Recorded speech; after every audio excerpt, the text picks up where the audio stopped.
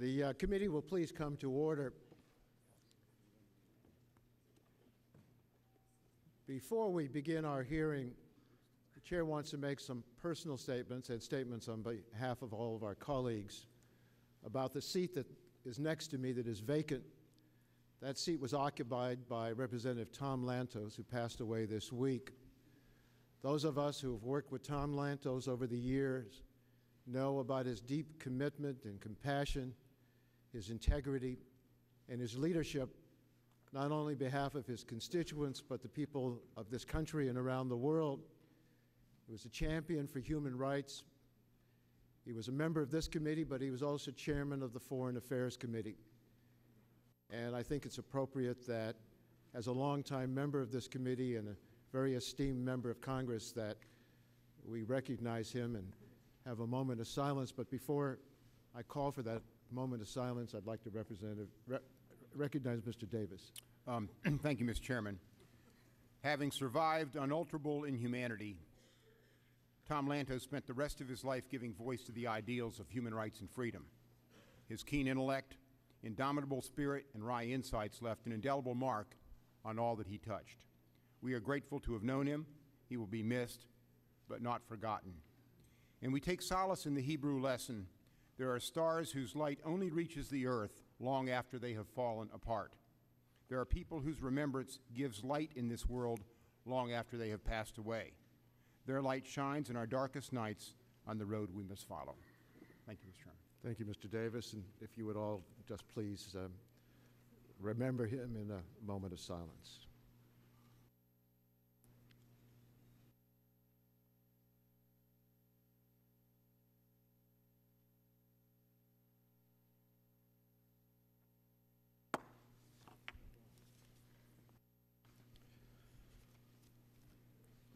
This is our second hearing on Senator Mitchell's report on the illegal use of steroids and other performance enhancing substances by players in Major League Baseball.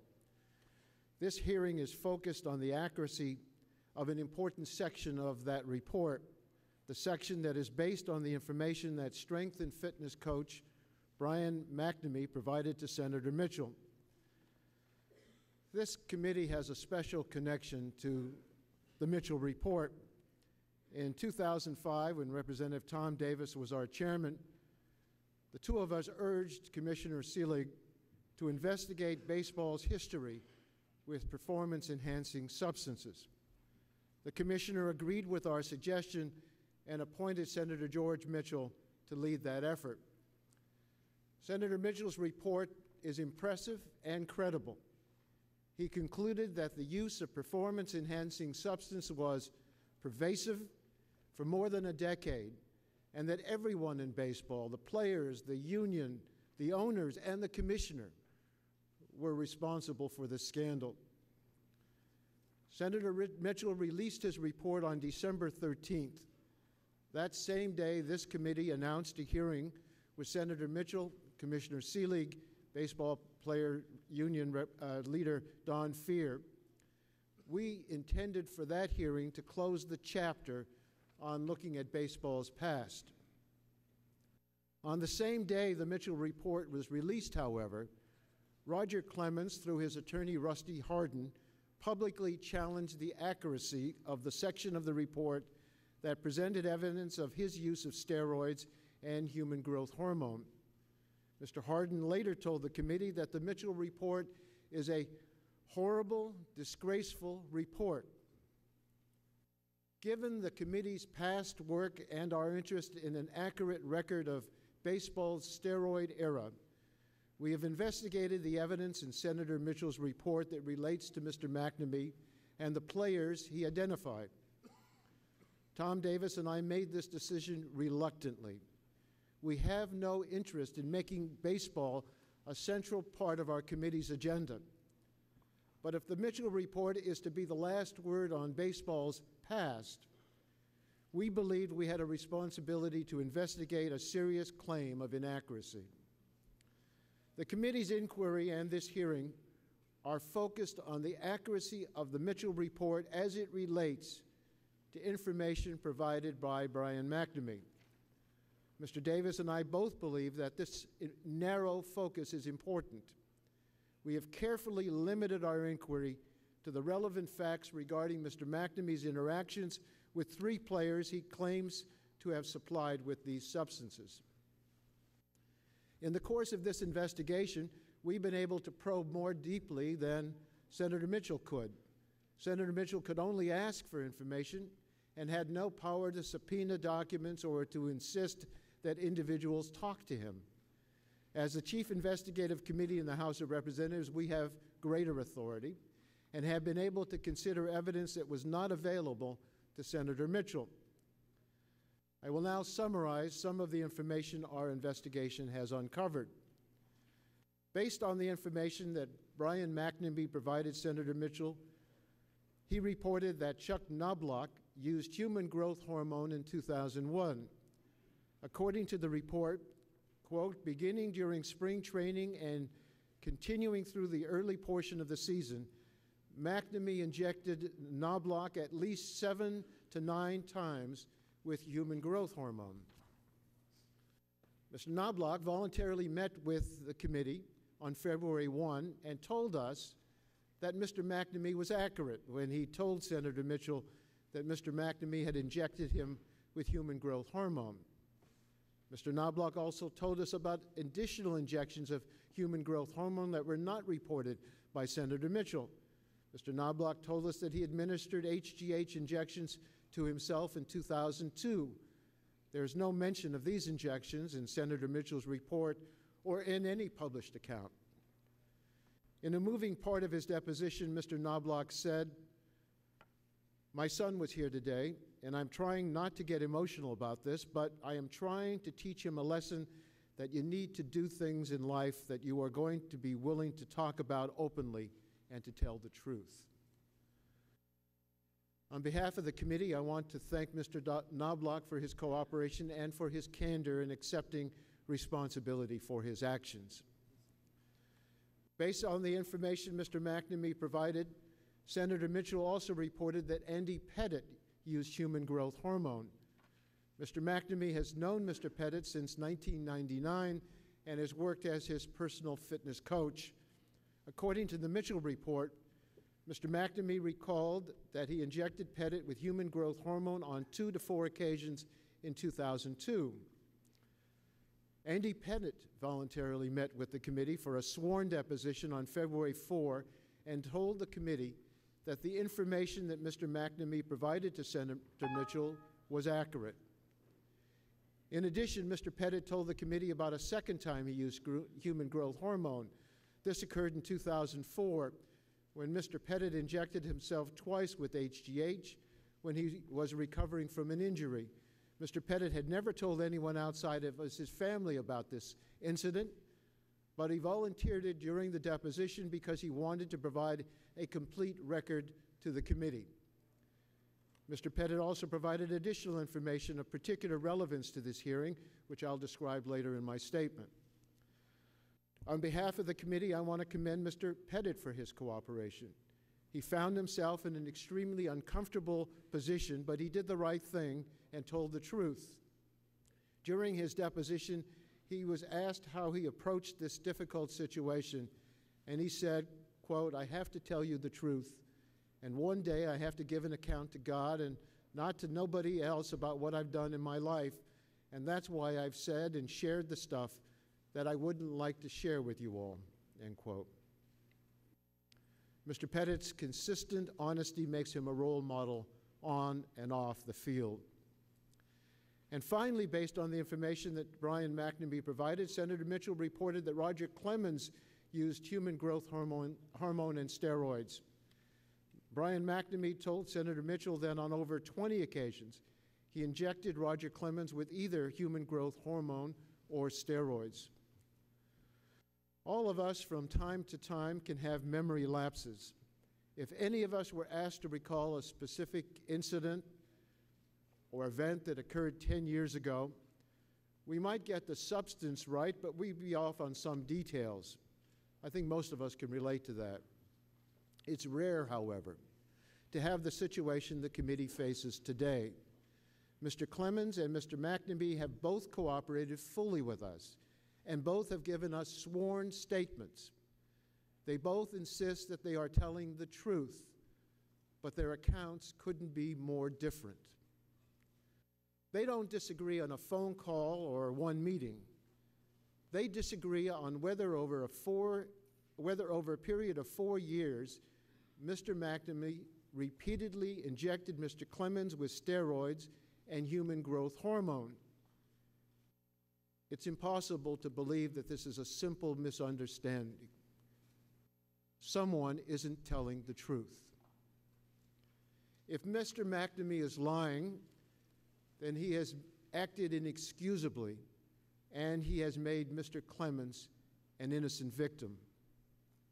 If Mr. Clemens isn't telling the truth, then he has acted shamefully and has smeared Mr. McNamee. I don't think there's anything in between. After we had completed our depositions, my instinct was to cancel this hearing and issue a written report. We've learned about a lot about Mr. McNamee's allegations and Mr. Clemens' account, and I thought a bipartisan report setting out the facts with Mr. Davis might be the most effective way to present the results of our investigation. But others had different views, and I was particularly influenced by the view of Mr. Clemens' attorneys who thought it would be unfair if the committee issued a report without giving Mr. Clemens the opportunity to testify in public. So I decided to proceed with this hearing, which I expect will be the last hearing this committee will have on baseball's past or the Mitchell Report. In today's hearing, Mr. McNamee's credibility will be bolstered by the testimony the committee received from Mr. Knobloch and Mr. Pettitte in their depositions. Mr. McNamee named three players in the Mitchell report Mr. Knobloch, Mr. Pettitte, and Mr. Clemens. None of these players talked with Senator Mitchell, but now two of them have told us under oath that Mr. McNamee told the truth as it related to them.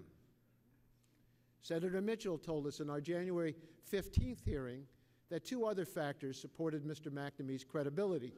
First, he said that the only penalty Mr. McNamee faced in dealing with federal prosecutors was perjury, which meant that he faced legal jeopardy only if he lied. And second, Mr. McNamee, was being paid by Mr. Clemens in 2007, as he had been paid for many years. And he had an economic interest against implicating the individual who supported his livelihood and was his most prominent client. On the other hand, the committee learned that Mr. McNamee has twice failed to tell the government uh, investigators the full truth.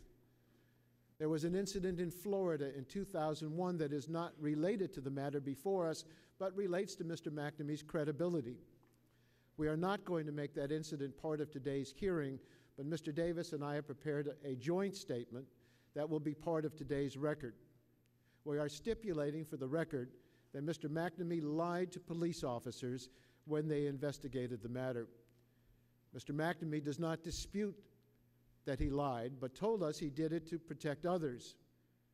Mr. McNamee was never charged in that case. Of more direct relevance to this matter, it's clear from our deposition with Mr. McNamee that he didn't tell federal prosecutors everything he knew. In his deposition, Mr. McNamee acknowledged that he misled prosecutors about the number of injections he gave Mr. Knobloch and Mr. Clemens. Until last month, he also withheld from the prosecutors physical evidence that he says implicates Mr. Clemens. Mr. McNamee says he did not tell the full, full truth because he and I quote him, I was trying not to hurt the guy. I felt awful for being in the situation I put myself into. There was a feeling of betrayal. I shouldn't have done it, but I didn't want to hurt him as bad as I could, end quote. That's no excuse. It's a serious matter that Mr. McNamee did not tell the investigators the full truth. We need to keep this in mind in evaluating his credibility today. Mr. Clemens has visited with many committee members personally in the last few days. One point he and his attorneys have made is that it would make no sense for him to testify under oath if he actually used steroids. In judging his credibility, the risk that he takes by testifying today needs to be taken into account. It's also relevant that Mr. Clemens is a credible and convincing person. I'm also aware of the tremendous amount of good that Mr. Clemens has done through the Roger Clemens Foundation, and I thank you for helping so many children. But it is also true that as we move forward in our investigation, we found conflicts and inconsistencies in Mr. Clemens' account. During his deposition, he made statements we know are untrue, and he made them with the same earnestness that many of the committee members observed in person when he visited your offices. In other areas, his statements are contradicted by other credible witnesses or simply implausible. At the beginning of his sworn deposition, Mr. Clemens repeatedly told the committee that he never talked with Brian McNamee about human growth hormone. We know from his later testimony that these statements were false. Mr. Clemens told the committee that Mr. McNamee injected him with a dangerous pain medication, lidocaine, in a public area of a team training room. Dr. Ron Taylor, the team doctor, Melvin Craig, the team trainer, both told the committee that this account does not make any sense. During his interview on 60 Minutes, Mr. Clemens asserted that Mr. McNamee didn't tell me a word about the Mitchell report, and he lambasted Mr. McNamee for sending him an email about fishing equipment a week before the release of the report. Well, these statements were not accurate. Eight days before the release of the Mitchell report, Mr. McNamee called Mr. Clemens' representatives and told them about the report. Mr. McNamee also allowed Mr. Clemens' investigators to interview him at length about the evidence in the Mitchell report before the release of the report. We know this happened because those investigators secretly taped the interview. There is also a direct conflict between Mr. Clemens' testimony and Mr. Pettitte's. During his deposition, Mr. Pettitte told the committee that in 1999 or 2000, Mr. Clemens, quote, told me he had taken HGH, end quote. During his deposition, Mr. Pettitte was asked whether he had any doubt about that recollection, and he said, quote, I mean, no, he told me that, end quote. Mr. Clemens said this, Mr. Clemens said this conversation never took place. Mr. Pettitte also said he had a second conversation with Mr. Clemens about HGH in 2005. This conversation took place after the committee's hearings on steroids in baseball, when Mr. Pettitte asked Mr. Clemens what would he say about the HGH use if asked. According to Mr. Pettitte, Mr. Clemens said, I never told you that. I told you that Debbie used HGH, end quote. Debbie Clemens is Mr. Clemens' wife. Well, we learned through our depositions of Mr. Clemens and Mr. McNamee that Mr. Clemens did inject Mr. Clemens, Mr. McNamee did inject Mr. Clemens' wife with HGH. Mr. Clemens and Mr. McNamee give completely different accounts of this injection. Mr. Clemens says that Mr. McNamee injected Mrs. Clemens without his knowledge. Mr. McNamee says that Mr. Clemens asked him to inject Mrs. Clemens. What they do agree upon, however, is that these injections occurred in 2003.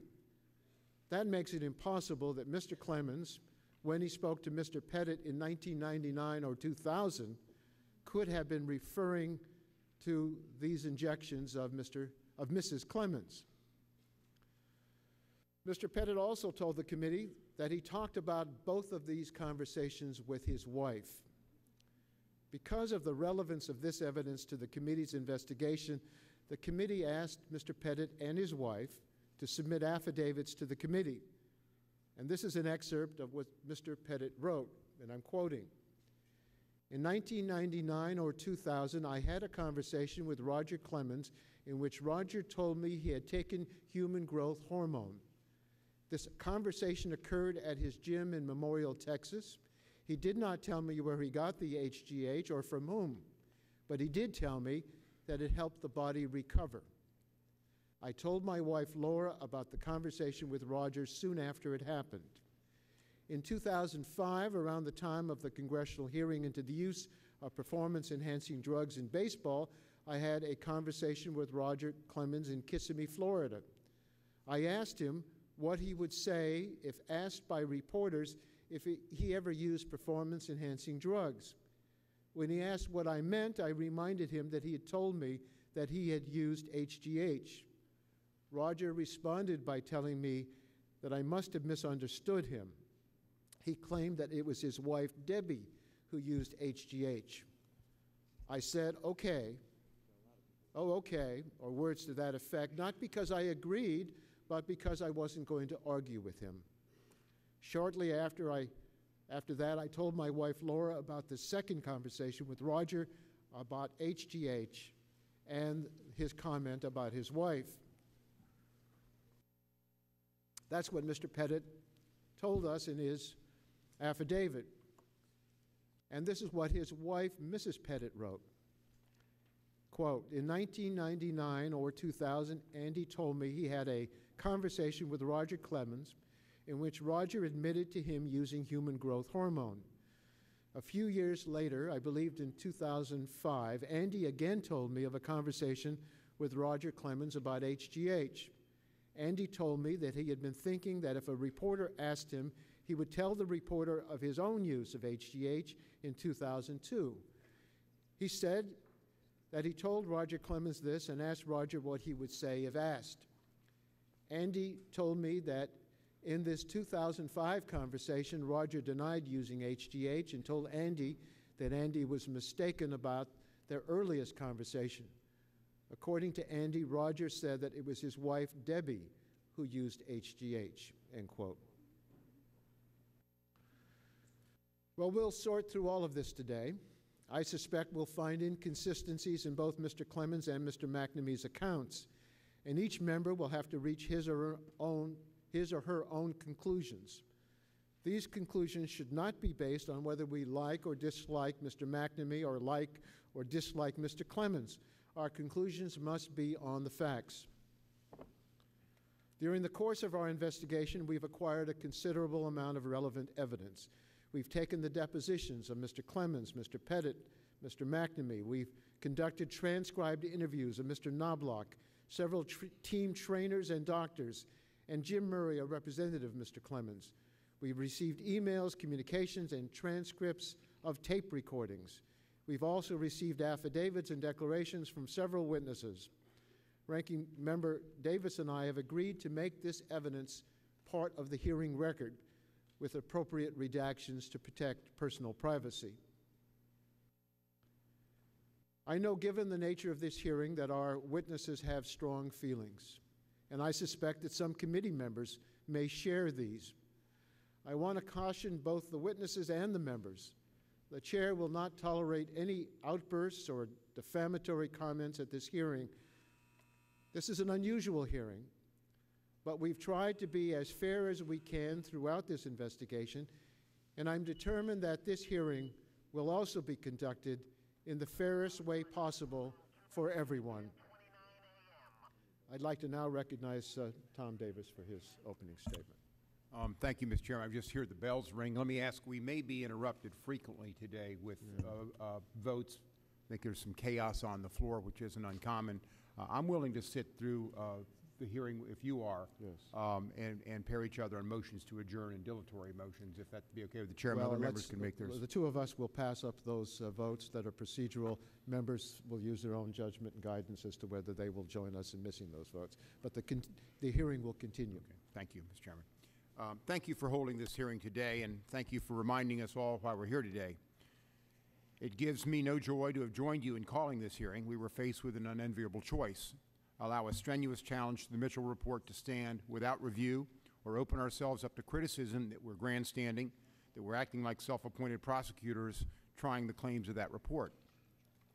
In the end, we decided we had a duty to probe the challenge, that we needed to help determine whether the Mitchell Report, with its 409-page sordid picture of backroom drug deals and players injecting each other with illegal substances right in their locker rooms, whether that report could and should still stand as proof positive that baseball's efforts to combat illegal drug use needs a fresh look.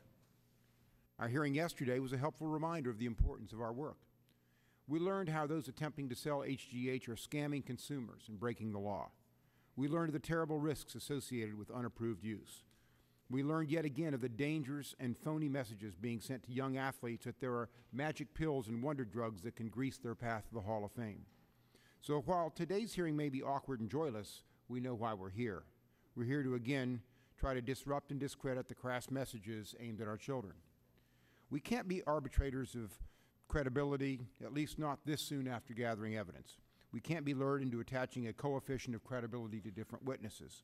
We can only collect facts and present them as completely and dispassionately as possible. Today, we'll let the American people judge who's to be believed in this unfortunate battle of wills, memories, and reputations. Coming into today's hearing, we have before us two very different stories. They're in many ways incompatible. Someone's lying in spectacular fashion about the ultimate question. But we have not prejudged, nor should anyone tuning in today prejudge. Let's listen to the witnesses. Let's probe disparities and contradictions. Let's remain fair and objective. And then let's decide whether anything we've learned leaves the Mitchell report in a less glowing light than it's thus far enjoyed. As we did in January, we want to commend Senator Mitchell for his work. He was saddled with a daunting task and list of obstacles no subpoena power, little cooperation from players, and only tepid enthusiasm among owners more concerned with filling seats than protecting public health. He produced a sober, even handed document whose factual assertions, with little exception, have remained unchallenged. Today, we offer a stage the primary, most vocal challenger. What better way to further examination of the strength of the Mitchell Report than to offer someone of Roger Clemens' stature the chance to tell his story and have that story in turn examined as well? Mr. Clemens, because of the scrutiny he's received, because of his accomplishments and profile, because of the good work his foundation has done for many years, deserves this opportunity. And so does his former friend, trainer, and now accuser, Brian McNamee. At our first hearing on January 15th, we learned from Senator Mitchell that players were required to consent to an interview before seeing the evidence against them.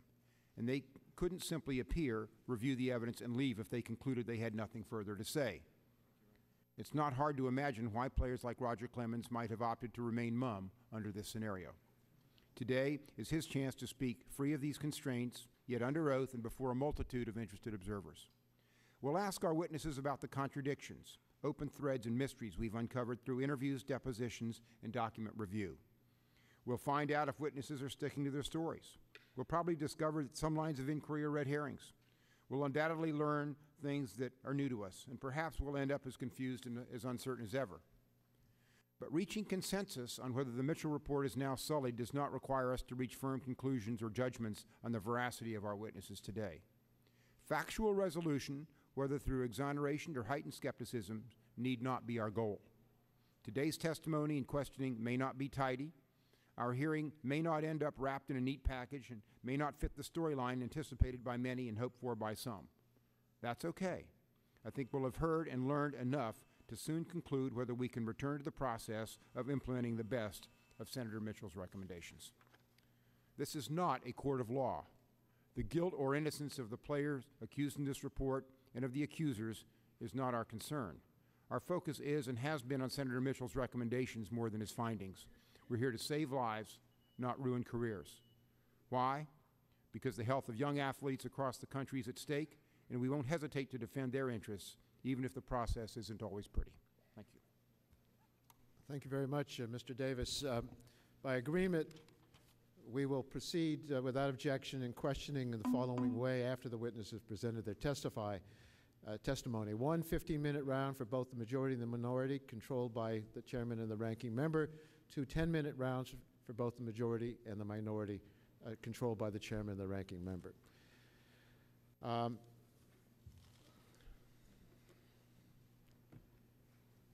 Gentlemen, um, we welcome you to our hearing today.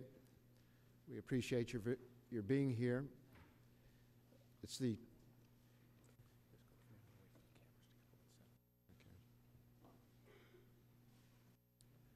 It's the practice of this committee that all witnesses that testify before us uh, testify under oath. Uh, So uh, the chair would like to ask the three of you to please stand and raise your right hand. Do you solemnly swear that the testimony you'll receive, you will give before this committee will be the truth, the whole truth, and nothing but the truth? Thank you. The chair will note for the record that each of the witnesses answered in the affirmative. Uh, There are only two of you who will be making opening statements. Mr. Scheeler is here to uh, answer questions. We will give each of the witnesses um, uh, adequate time to make their presentation, and we'd like to start with you, Mr. Clemens. There's a button on the base of the mic. Be sure it's on, and be sure it's close enough to you so that uh, we can hear everything you have to say. Thank you, Mr. Chairman. First, I'd like to express my sympathy to the committee on the passing of Chairman Lantos.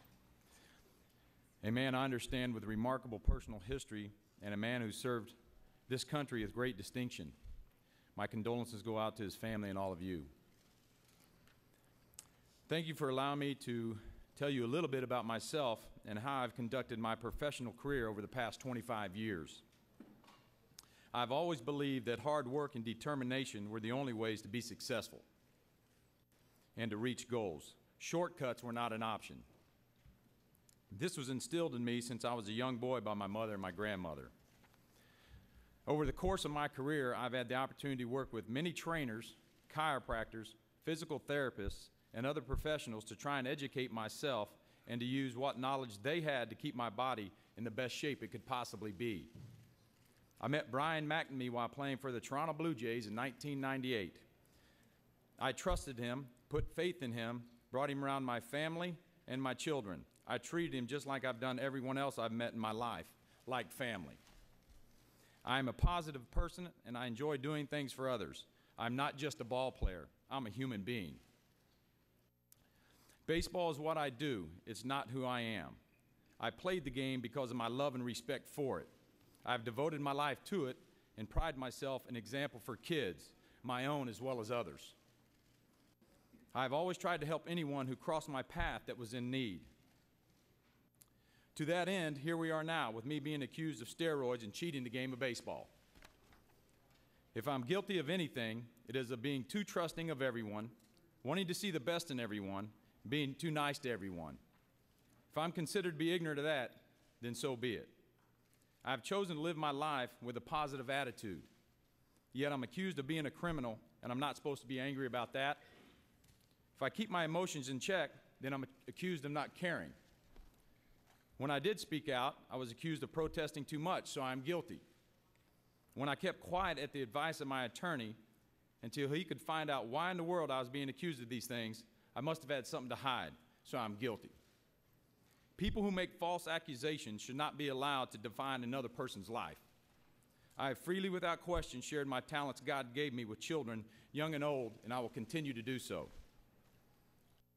I've been blessed with a will and a heart that carries me on in life. I've had thousands of calls, emails from friends, working partners, teammates, fans, and men that have held the highest office in our country telling me to stand strong.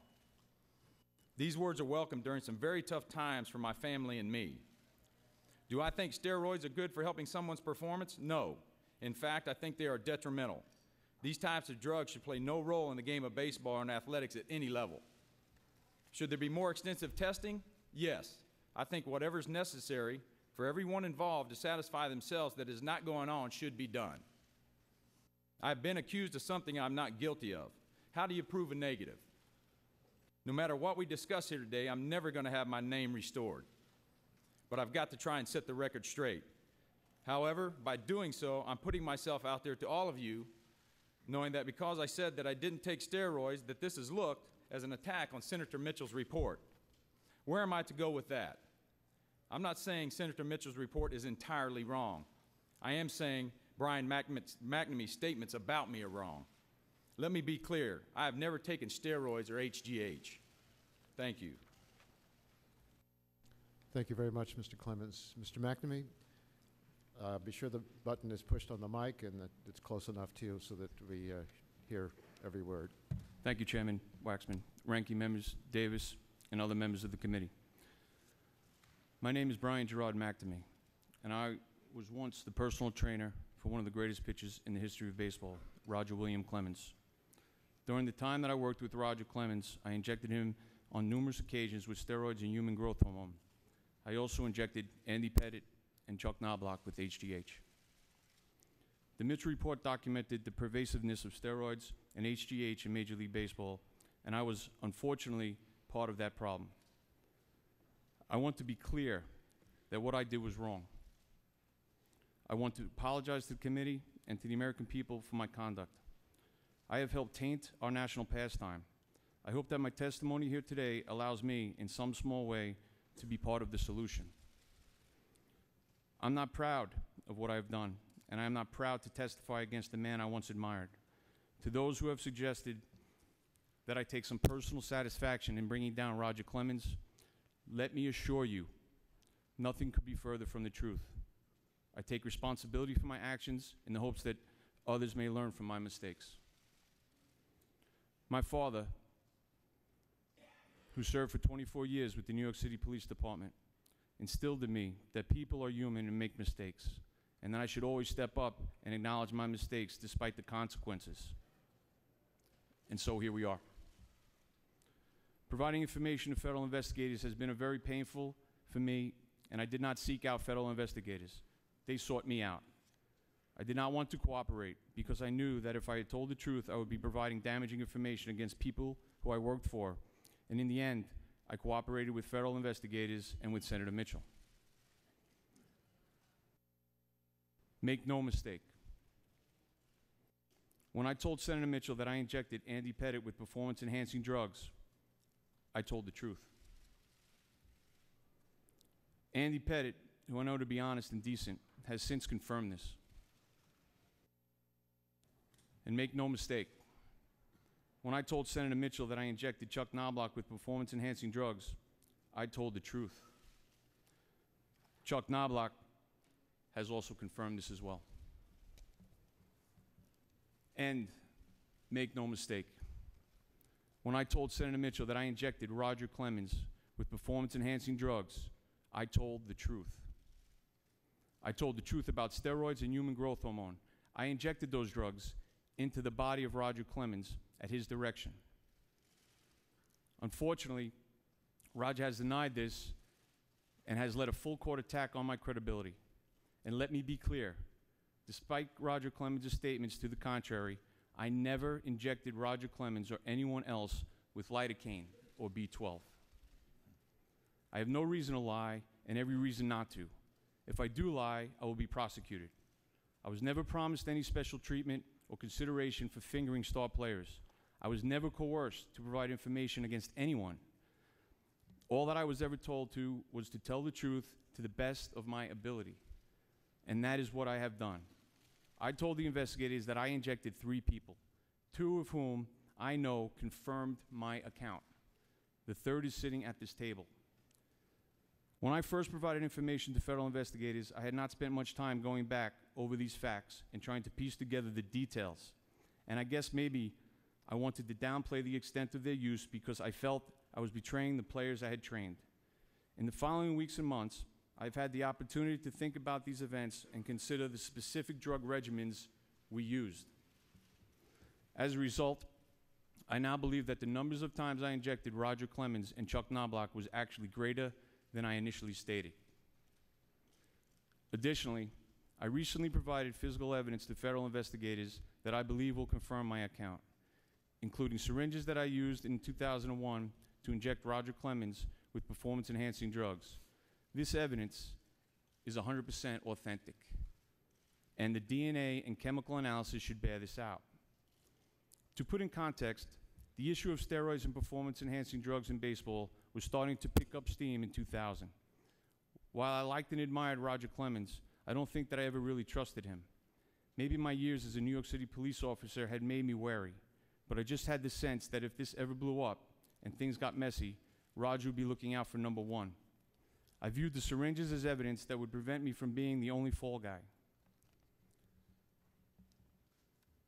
Despite my misgivings about Roger, I have always been loyal to a fault, a trait that has gotten me into trouble in the past. Even though I saved the material, I never considered using it. When I met with federal investigators, I still did not want to destroy Roger Clemens. I was hoping this issue would just fade away. It has not faded away. And everything changed for me on January 7th when Roger Clemens' lawyer played a secretly tape recorded conversation between me and Roger in which my son's medical condition was discussed on national TV. It was despicable. The next day, I retrieved the evidence and contacted my lawyers and the federal investigators. The whole experience has been a nightmare for my family. I've had to revisit and read about in the press mistakes I have made in the past and serious mistakes concerning an incident that happened in Florida in 2001 when I was a member of the Yankee organization. I lied to police officers to protect friends, ball players, coaches, and myself with whom I worked. I was wrong, and I deeply regret my actions. Today, my livelihood is in ruins, and it is painful beyond words to know that my name will be a forever linked to a scandal in the sport I love. Yet, the spotlight generated by Senator Mitchell's report and this hearing can help clean up the drug culture in baseball so that young people no longer see performance enhancing drugs as a necessary shortcut to success. Maybe, just maybe, all the pain and shame will have served a greater good. Thank you, and I will be happy to answer all your questions. Thank you very much, uh, Mr. McNamee. Uh, Under the um, previous unanimous consent agreement, we will control f- 15 minutes in the first round, and Mr. Davis 15 minutes in the, uh, on his side. And I'd like to yield at this time five minutes to uh, Mr. Cummings. Oh, I'd like to yield full 15 minutes to Mr. Cummings. Thank you very much, Mr. Chairman, and thank you, gentlemen, for uh, being with us uh, this morning. And I was very pleased to hear both of the witnesses uh, talk about children because that's what this was all about when we started. Uh, so many children trying to emulate their sports stars. Um, I'm going to uh, ask you a few questions, uh, Mr. Clemens, and um, I- first want to make sure that you're very clear. You understand that you're under oath, is that correct? That's correct, Mr. And you know what that means, is that correct? That's correct. Very well. Um, first of all, Mr. Pettitte, you, uh, Andy Pettitte, is one of the most respected players in the major league, uh, and commentator after commentator has said that he is one of the most honest people in baseball. Would you agree with that? I would agree with that. Yes, sir. All right, keep your voice up. I would agree with that. Yes, sir. In fact, this is what your own lawyer, Rusty Hardin, said about Mr. Pettitte in the New York Times. And I quote We have nothing to fear about what Andy may testify to. Everyone says that Andy is honest. We have no reason to believe he will lie. Would you agree with that on that statement your lawyer made? I would agree with that. Yes. Very well. Now, Mr. Clemens, I want to ask you uh, just one thing. In his deposition, Mr. Pettitte told the committee that he had a conversation with you in 1999 or 2000 in which you admitted that you used human growth hormones. Is this true? It is not. So you did not tell Mr. Pettitte that you used human growth hormones? I did not. And but at the same time, you just said that he's a very honest fellow. Is that right? I believe Andy to be a very honest fellow. Yes. Very well. Let's continue. In his deposition, Mr. Pettitte was honest and forthcoming with the committee. He told us things that were embarrassing that we had no way of knowing except through his own testimony. First, he confirmed that Mr. McNamee injected him with HGH in 2002, which is the which is in the Mitchell report. You understand that, right? I do. Then he told us that he injected himself again in 2004. We did not know about the 2004 injection, but he volunteered that information because he wanted the committee to know the entire truth. It was hard for Mr. Pettitte to tell the committee about the 2004 injections. The circumstances which he described in length were exceptionally personal and embarrassing. But it was even harder for him to talk about you, Mr. Clemens. he, he's friends with both you and Mr. McNamee, and he felt caught in the middle. During his deposition, he was asked how he would resolve the conflict between two friends. Here is what he said, and I quote I have to tell you all the truth. And one day, I have to give an account to God and not to nobody else of what I've done in my life. And that's why I've said and shared the stuff with y'all that I would not like to share with y'all. End of quote. Now, Mr. Clemens, I'm reminding you that you are under oath. Mr. Clemens, do you think Mr. Pettitte was lying when he told the committee that you admitted using human growth hormones? Mr. Congressman, uh, Andy Pettitte is my friend. He will be my, he was my friend before this. He will be my friend after this. And again, I think Andy has misheard. I'm sorry, I didn't hear you. I believe Andy has misheard, Mr. Congressman, uh, on his comments about myself using HGH, which never happened. The conversation that I can recall that I had with Andy Pettitte was at my house in Houston while we were working out, and I expressed to him about a TV show, something that I've heard about three older men that were using HGH and getting back their quality of life from that. Those are the conversations that I can remember. Andy and I's friendship and closeness was such that, first of all, when I learned when he was uh, when he said that he used HGH, I was shocked. I had no idea. When I just heard your statement and Andy's statement about that he also injected himself, I was shocked. I had no idea that Andy Pettitte had used HGH.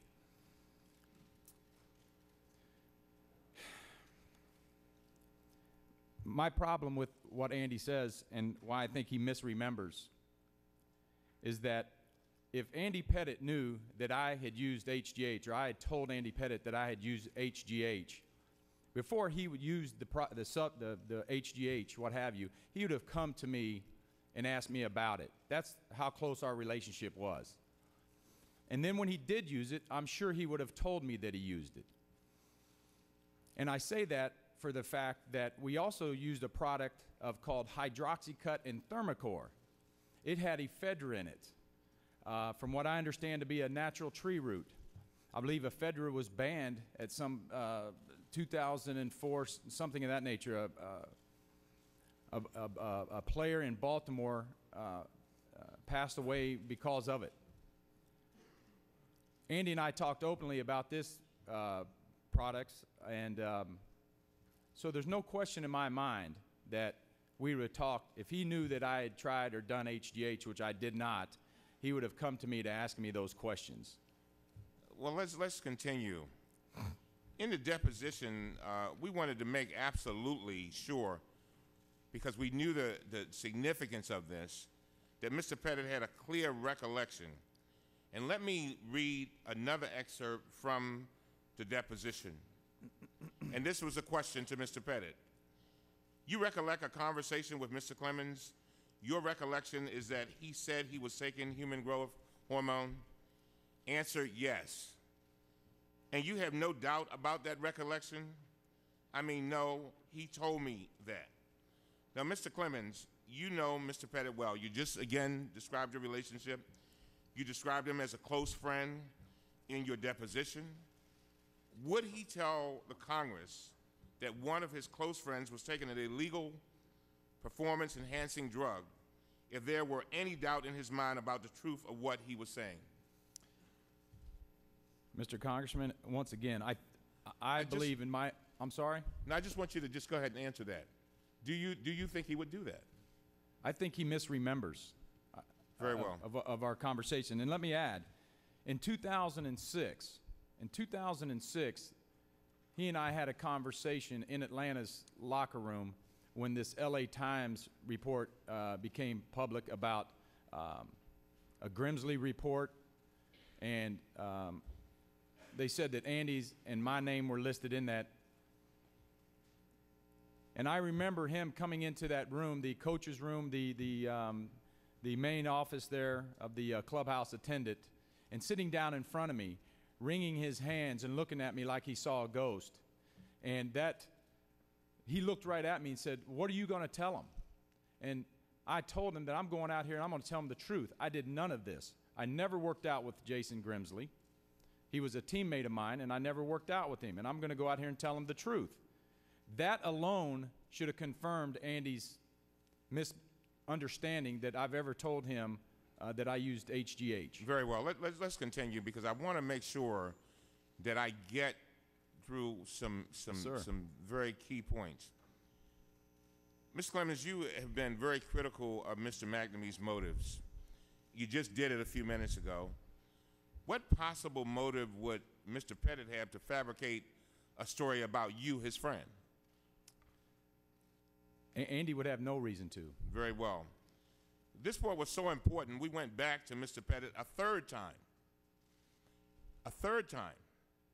We asked him to submit an affidavit to the committee. This gave him a chance to express his recollection clearly without the pressures of a deposition. I want to read to you what he wrote. It says in 1999 or 2000, I had a conversation with Roger Clemens in which Roger told me that he had taken human growth hormones.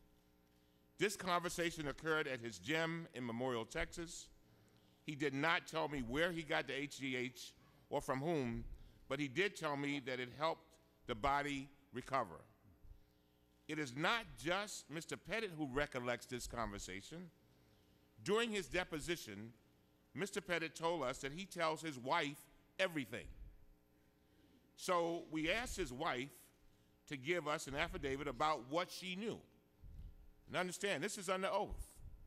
Let me read to you what his wife said in her affidavit.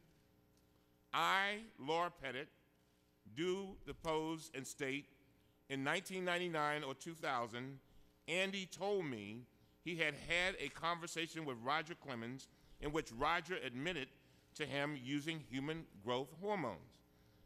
Mr. Clemens, once again, I remind you, you're under oath. You have said your conversation with Mr. Pettitte never happened. If that was true, why would Laura Pettitte remember Andy telling her about the conversation? Once again, Mr. Commerce, I think he misremembers the, the conversation that we had. Um, Andy and I's relationship was close enough to know that if I would have known that he was had done HGH, which I now know, that he would if he was knowingly knowing that I had uh, taken HGH, we would have talked about the subject. He'd have come to me to ask me about the effects of it. Well, the fact is, Mr. Mr. Clemens, that apparently now you know he knew it, and he didn't tell you. Has your has your mind changed about his credibility? Uh, Andy's a, a fine gentleman. I, I have no reason. Again, uh, Very well. I think he misremembers. Very well. Let me I go know on. what- I, I- again, our relationship was close enough uh, that if I knew that if he knew that I had tried HGH, which I hadn't, and he would have come to me and talked to me and I discussed the subject. I understand. The 19 in 1999 or 2000 conversations is not the only conversation that Mr. Pettitte remembers having with you about HGH. He also remembers a, a second conversation very clearly. This conversation took place in 2005. Let me read to you what he wrote about this conversation in his affidavit. In 2000, and I quote, in 2005, around the time of the congressional hearings into the use of performance enhancing drugs in baseball, I had a conversation with Roger Clemens in Kissimmee, Florida. I asked him what he would say if asked by reporters if, ever, if, if he had ever used performance enhancing drugs. When he asked what I meant, I reminded him that he had told me that he had used HGH. Roger responded by telling me that I must have misunderstood him. He claimed that it was his wife, Debbie, who used HGH.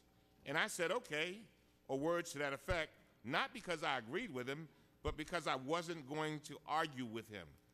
This conversation happened just three years ago, and it is the kind of conversation that most people would remember.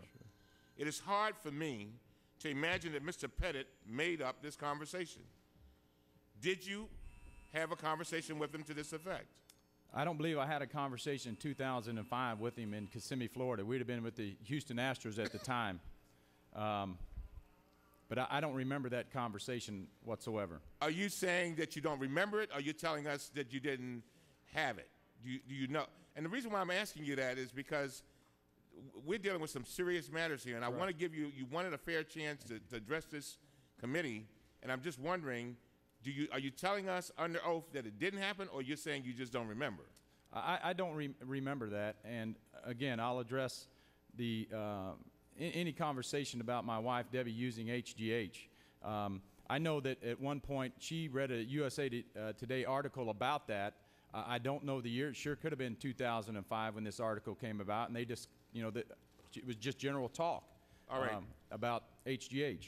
Let me go on. Laura Pettitte also has a clear recollection of being told about this conversation by her husband. Let me read what she uh, wrote. A few years later, I believe in 2005, Andy again told me of a conversation with Roger Clemens about HGH. Andy told me that he had been thinking that if a reporter asked him, he would tell the reporter of his own use of HGH in 2002. He said that he told Roger Clemens this and asked Roger what he would say if asked. Andy told me that in 2000, in the 2005 conversation, Roger denied using HGH and told Andy that Andy was mistaken about their earlier conversation. According to Andy, Roger said that it was his wife, Debbie, who used HGH. Now, the timeline is very important here. According to Mr. Pettitte's, Pettitte, his first conversation with you, Mr. Clemens, occurred in 1999 or 2000. But you told us that your wife did not use HGH until 2003. That makes it impossible that you could have been referring to your wife's use of HGH in the first conversation. These aren't the only relevant conversations that Mr. Pettitte told us about. He told us that after his first conversation with you, Mr. Clemens, he spoke with Mr. McNamee. Let me read what you what what what what let me read to you again that affidavit. And I quote, shortly after my conversation with, with Roger, I spoke with Brian McNamee. Only he and I were parties to the conversation. I asked Roger about HGH and told him that Roger said he had used it.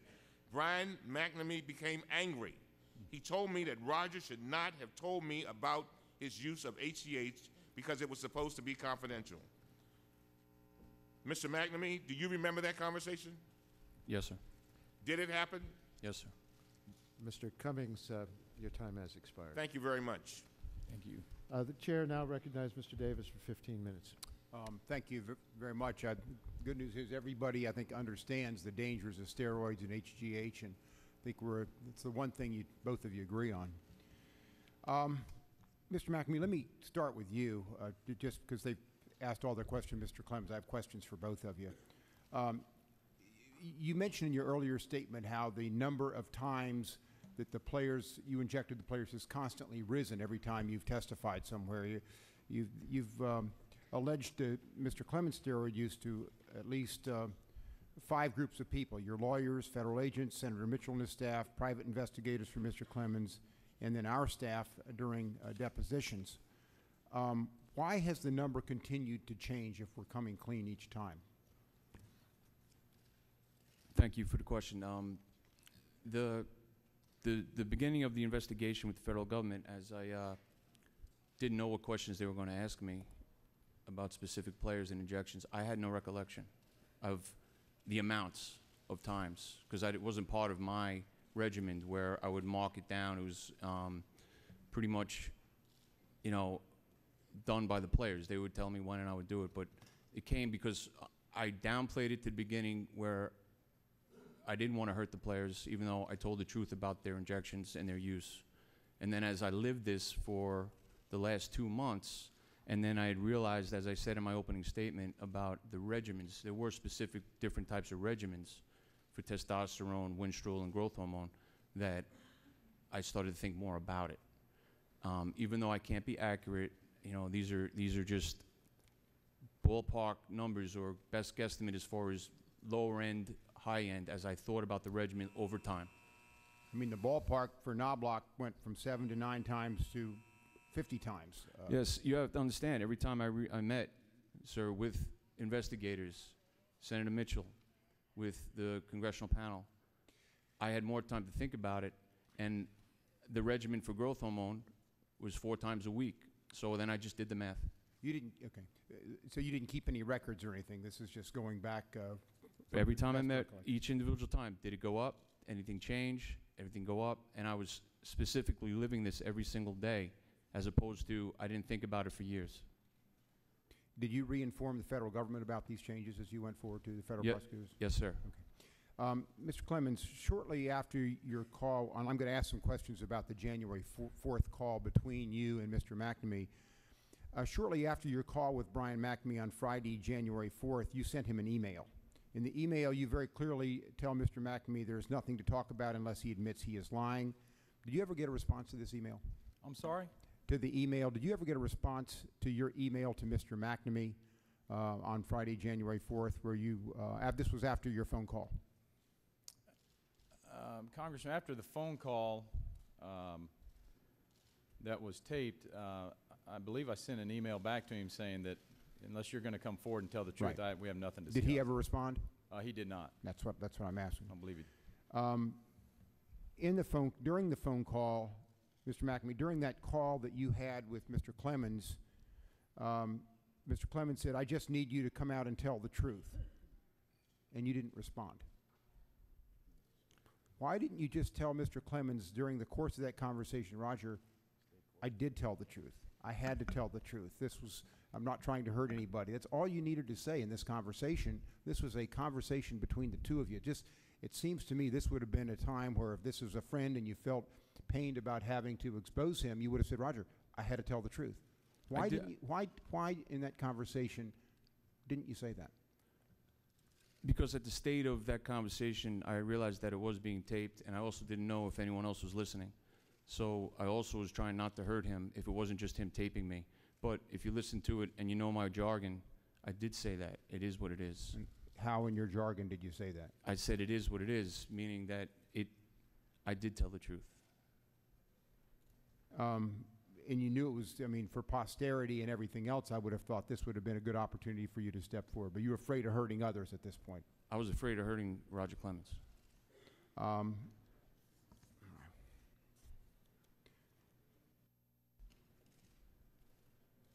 in your testimony, um, uh, Mr. In your testimony about 2001, you added an additional substance, parabolin, uh, on the list of steroids you injected into Mr. Clemens.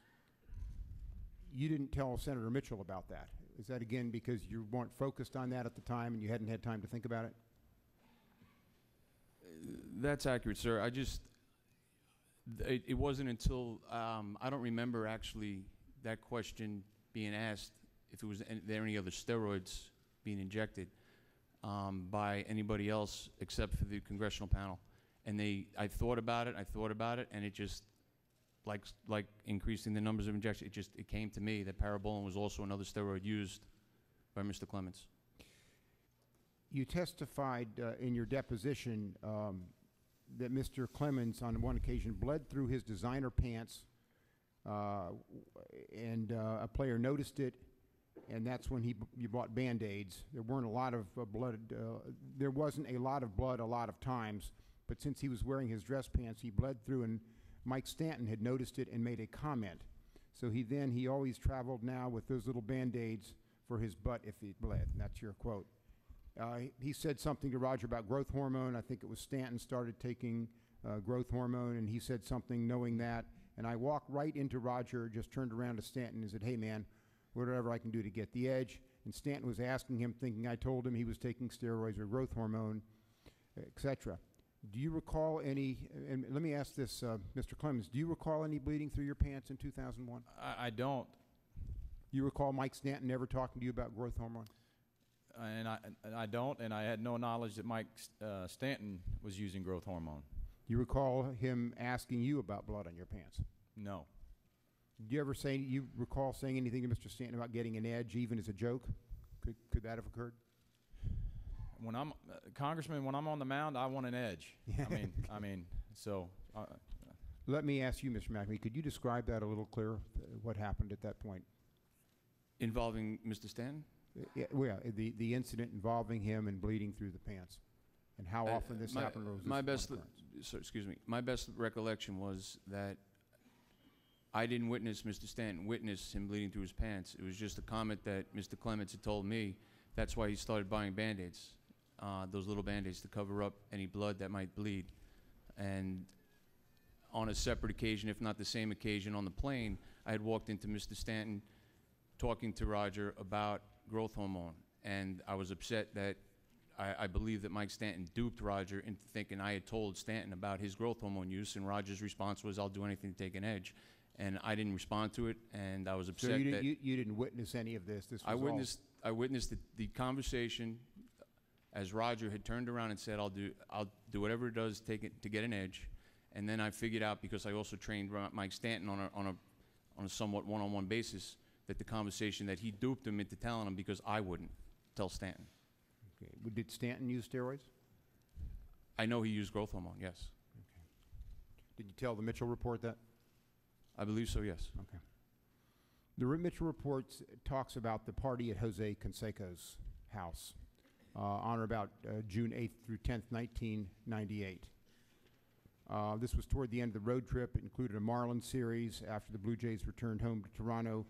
Uh, eh, eh, uh, uh, This is allegedly, um, Mr. Clemens then approached you and for the first time brought up the subject of steroid. I think that was your testimony. I want to ask some questions about that because the Canseco Barbecue is a key event in 1998 where your testimonies differ significantly. You described the barbecue as potentially the time and place where Roger Clemens comes into possession of anabolic steroids. You told us in your deposition you have a vivid recollection of Clemens being at the barbecue. Do you stand by that? Yes, sir. Now, all the evidence that the committees obtained goes the other way. For example, Jose Canseco completed an affidavit and was interviewed by the staff. He said he remembers the barbecue as if it were yesterday. He's, Canseco says Clemens was not there. He remembers being disappointed that Mr. Clemens wasn't there. He specifically remembers having his high school baseball coach at the barbecue and being disappointed that he was unable to introduce the coach to Clemens. Canseco's affidavit reads, on Tuesday, June 9th, 1998, I hosted a barbecue at my house for my teammates and other Blue Jays staff members. It was an honor for me to host a luncheon for my new team. During that luncheon, there were approximately 30 to 40 people present. I specifically recall that Clemens did not come to the barbecue. I remember this because I was disappointed that he did not attend. According to news reports, Blue Jays uh, catcher at the time, Darren Fletcher, doesn't remember seeing Clemens there. The Blue Jays trainer at the time, Tommy Craig and Scott Shannon, told us they don't remember Clemens being at the barbecue. The Blue Jays traveling secretary at the time specifically remembers Clemens not being on the team bus that traveled to the barbecue and does not remember Clemens being there. Mr. Canseco's wife at the time, the then Jessica Canseco, now Jessica Fisher, has supplied an affidavit to the committee that she does not remember Clemens being there. And audio from the television broadcast of two different games during the three game series has the announcers talking about the barbecue and how Roger Clemens did not attend. And Mr. Clemens has produced a golf receipt showing that he played golf that day. Now, how do you explain you're the only person that remembers him that day, and is that a critical juncture? I don't think it's that critical um, in regards to Mr. Clemens' steroid use. But I guess as far as asking me, is it critical in my recollection? I, I have two distinct um, memories of that party. And one of them is as I was eating a sandwich next to Mr. Uh, Canseco's pool by myself, I noticed a young child running towards the pool. And as I looked up, there was a woman chasing after the young child, and she was wearing a peach bikini with green in it with board shorts. She was a thin, probably mid to late 30s woman, and uh, she grabbed the kid, the child, who was about two years old at the time, if not younger. And I later found out from one of the ball players, I said, Who's that? And they said, It's Roger's nanny. And then I had turned around to see Roger and Debbie Clemens talking in the middle, and then they went inside the house. I, I did believe I said hello to Roger, and I know Roger showed up a little bit later. And I also have, um, How do you know he showed up later? Because you saw him later? I, I saw him there at the house of Jose Canseco's, and I believe um, we've had numerous conversations about how great that party would have been if it, if it wasn't for the fact that we had a game that night, and all we had was sandwiches and iced tea, because Jose had a really nice house. Mr. Clemens, your golf receipt that day is time-stamped 8:58. Uh, Do you recall what time you teed off? Well, the time I would get out of the pro shop and, and uh, get ready to tee off, it'd have been a good 30, 40 minutes probably. Um, the, the time was 8, uh, again, I'm sorry? 8:58, so it would have been after 9 that you would have teed off. How long does it generally take you to play around? It'd be four, every bit of four hours, four and a half, depending on How the far was traffic. the golf course uh, from Mr. Canseco's house? Any idea? I, I don't, I wouldn't think it was um, 20 minutes at, at best. Um, Did you eat lunch after your round of golf that day? Do you remember? I don't remember. You pitched seven innings the night before. What would have been your pattern in practice on the day after pitching? What time would you ordinarily show up the ballpark the day after you started? Uh, the day after is, um, uh, well, obviously the day after I enjoy playing golf. I usually enjoy playing golf the day before I pitch and the day after when I can. Um, uh, I like the, uh, you know, obviously getting outdoors anytime I can, uh, especially when we're on the road. I do not like uh, hanging in the hotel room. The Um, night, the night before the barbecue, the Blue Jays lost four to three in 17 innings. Does that ring a, a bell? Does that It does, uh, and uh, you said earlier I threw that game, so obviously there was a no decision uh, involved. I would imagine. Were your wife and children in Miami for this series? Yes. Okay. You think you might have gone on uh, the, the on the barbecue after golf? Um, I, I don't remember a uh, his his party. Um, Okay. Is it possible your wife and some of your kids could have gone without you? I believe my wife Debbie was in my golf foursome, and um, the kids sure could have been. Okay. I, I don't remember that they were. But you don't remember being there at all? I I don't. Okay. Mean- reason I ask that is because it was, uh, this was uh, brought up, and this was the beginning, I think, of, uh, uh, as I look at the testimony of the- of your starting to ask about these questions right at that time or right uh, thereafter. Um, We've also spoken to a number of medical professionals inside and outside of baseball.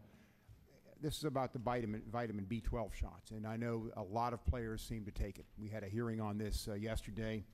Um, They, most of them say B12 is not beneficial unless you have a dire medical need for it, like if you had anemia.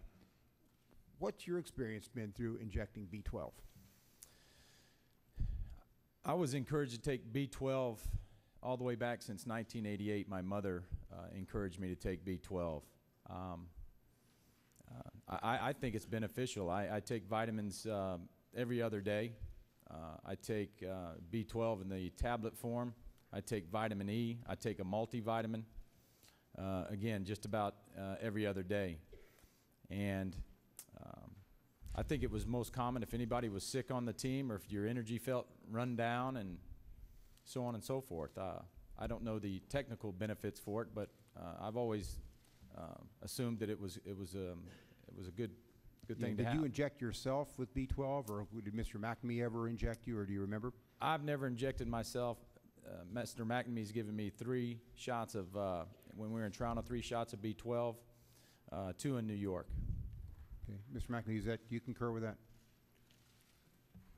Uh, The first time I heard of Roger taking B12 was on 60 Minutes. I've never given Roger Clemens B12 and never heard of B12 really before. Is my time up? All right. Thank you, Mr. Davis. Uh, Chair recognizes Mr. Tierney for 10 minutes. Thank you, Mr. Chairman. Mr. Chairman, my questions, I guess, are going to be a little bit about who's telling the truth here as well.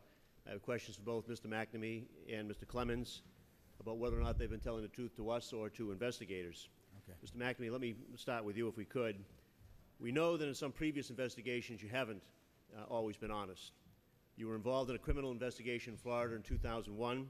You told committee investigators that you provided the police in that investigation with statements that were not truthful. Mr. McNamee, were you truthful to government investigators in Florida in 2001? No, sir. You also told the committee that you withheld information from federal prosecutors who were investigating the steroid use by professional baseball players.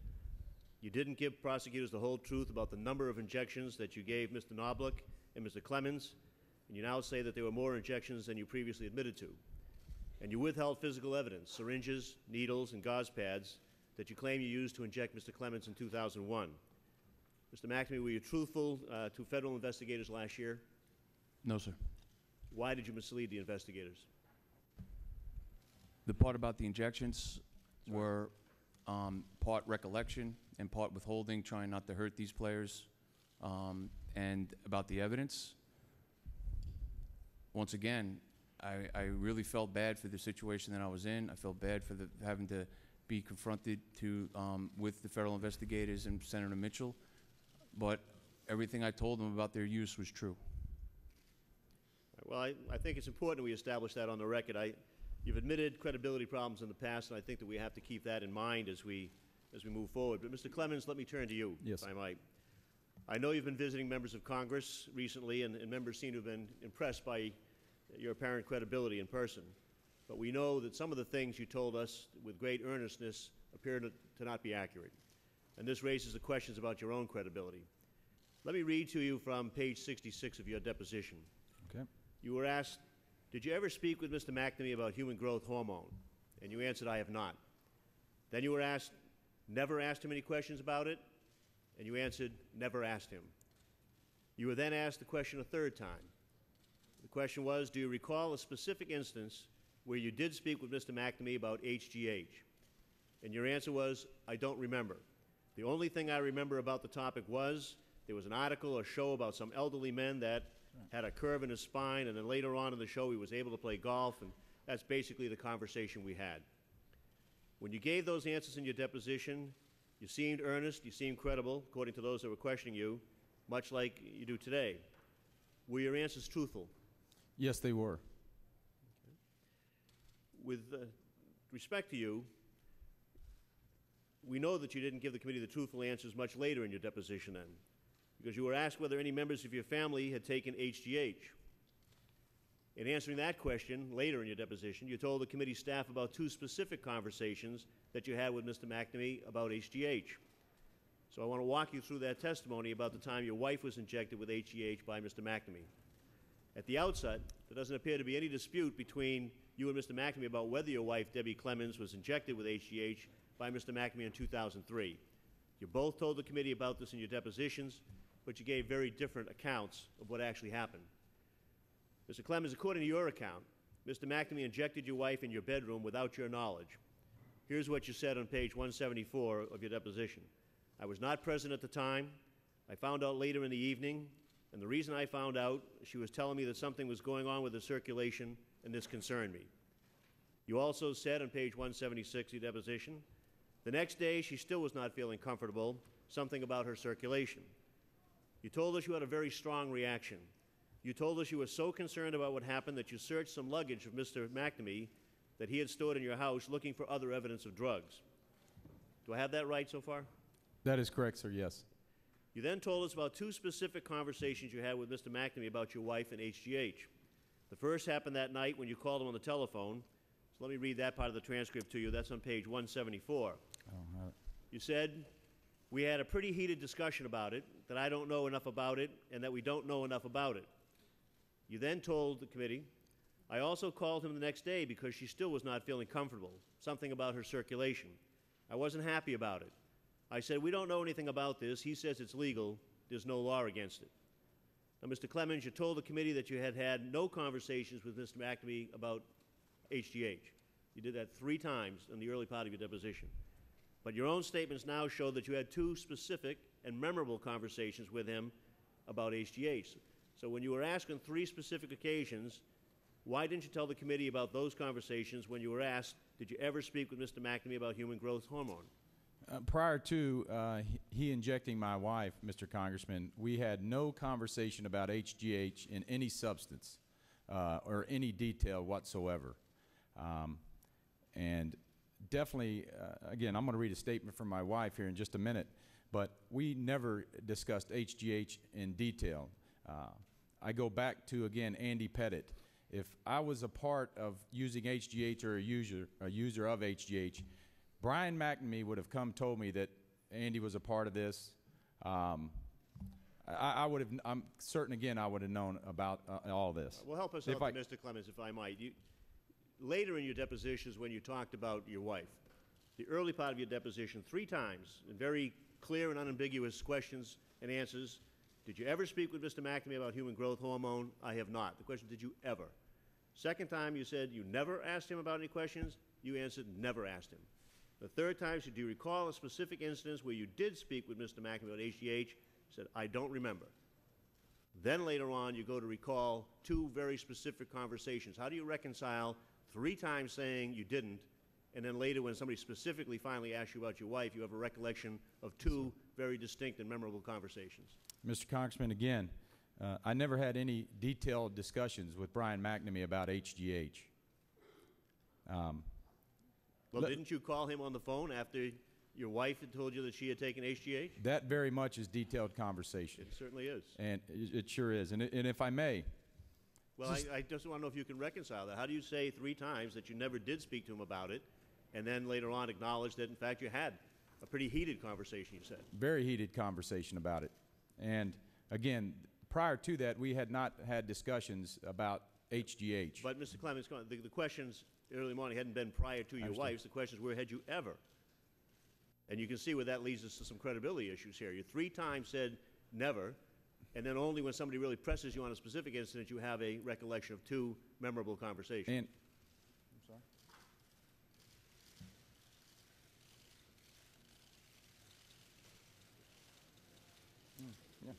Yeah. Um, again, uh, prior to Mr. Congressman, we had no detailed uh, discussion about HGH. Um, prior to what? dur- pri- during my uh, testimony with the committee, and I believe the committee ran down uh, when they were asking me the question about front office people, uh, other employees, and that's when they said family on, on, the, uh, on the question. That, that's all helpful, Clemens. But these I questions, I'm reading to you right from the transcript. What you're referring to now happened later. That's right? correct. The three distinct questions were specifically about whether you ever spoke with Mr. McNamee, and three times you said never. Right? Later, somebody brought up the fact about your wife. And that's the inconsistency that we have. Let me, let me go on a little bit. It's not the only area where we have some question, because l- I'll read to you another excerpt from your deposition. You were asked, it's on page 67 if you want, I- I did don't you know. do any research on your own about human growth hormone? And you answered, no, I haven't. I've never researched it. I couldn't tell you the first thing about it. Seems a little difficult to believe. You testified that your wife was injected by Mr. McNamee without your knowledge of HGH. She didn't feel well and started to have circulation problems. You felt so strongly about what Mr. McNamee had done that you searched his luggage to make sure there were no drugs in the house. What did your doctor say about this? Uh, I talked to Deborah about calling our doctor, and she said that she was just feeling very uncomfortable, and in her words, wigged out about it. Um, and not only did the reason I searched his luggage uh, for the fact that uh, he would always leave luggage behind and have us mail out his luggage and leave without his luggage at my house, uh, no differently than when I uh, spoke to him about bringing alcohol onto my property. I had young kids. Um, that is the uh, conversation that was about. I, I was comfortable with my wife's reaction. She told you she had s- circulation problems. she felt that she was having circulation problems. Yes. but you never called a doctor. Certainly, it seems to most reasonable people, I think, that if that were the case, your wife told you that she was having a reaction, circulation problems, and particularly if it was administered by a fitness trainer without your knowledge, that you would have called a doctor to find out what the consequences were. You never did that. Without, we did not, and I did talk to Deb about that. If we should call our our uh, doctor. What steps did you take to learn about the effects of HGH after you learned that your wife had taken the injection?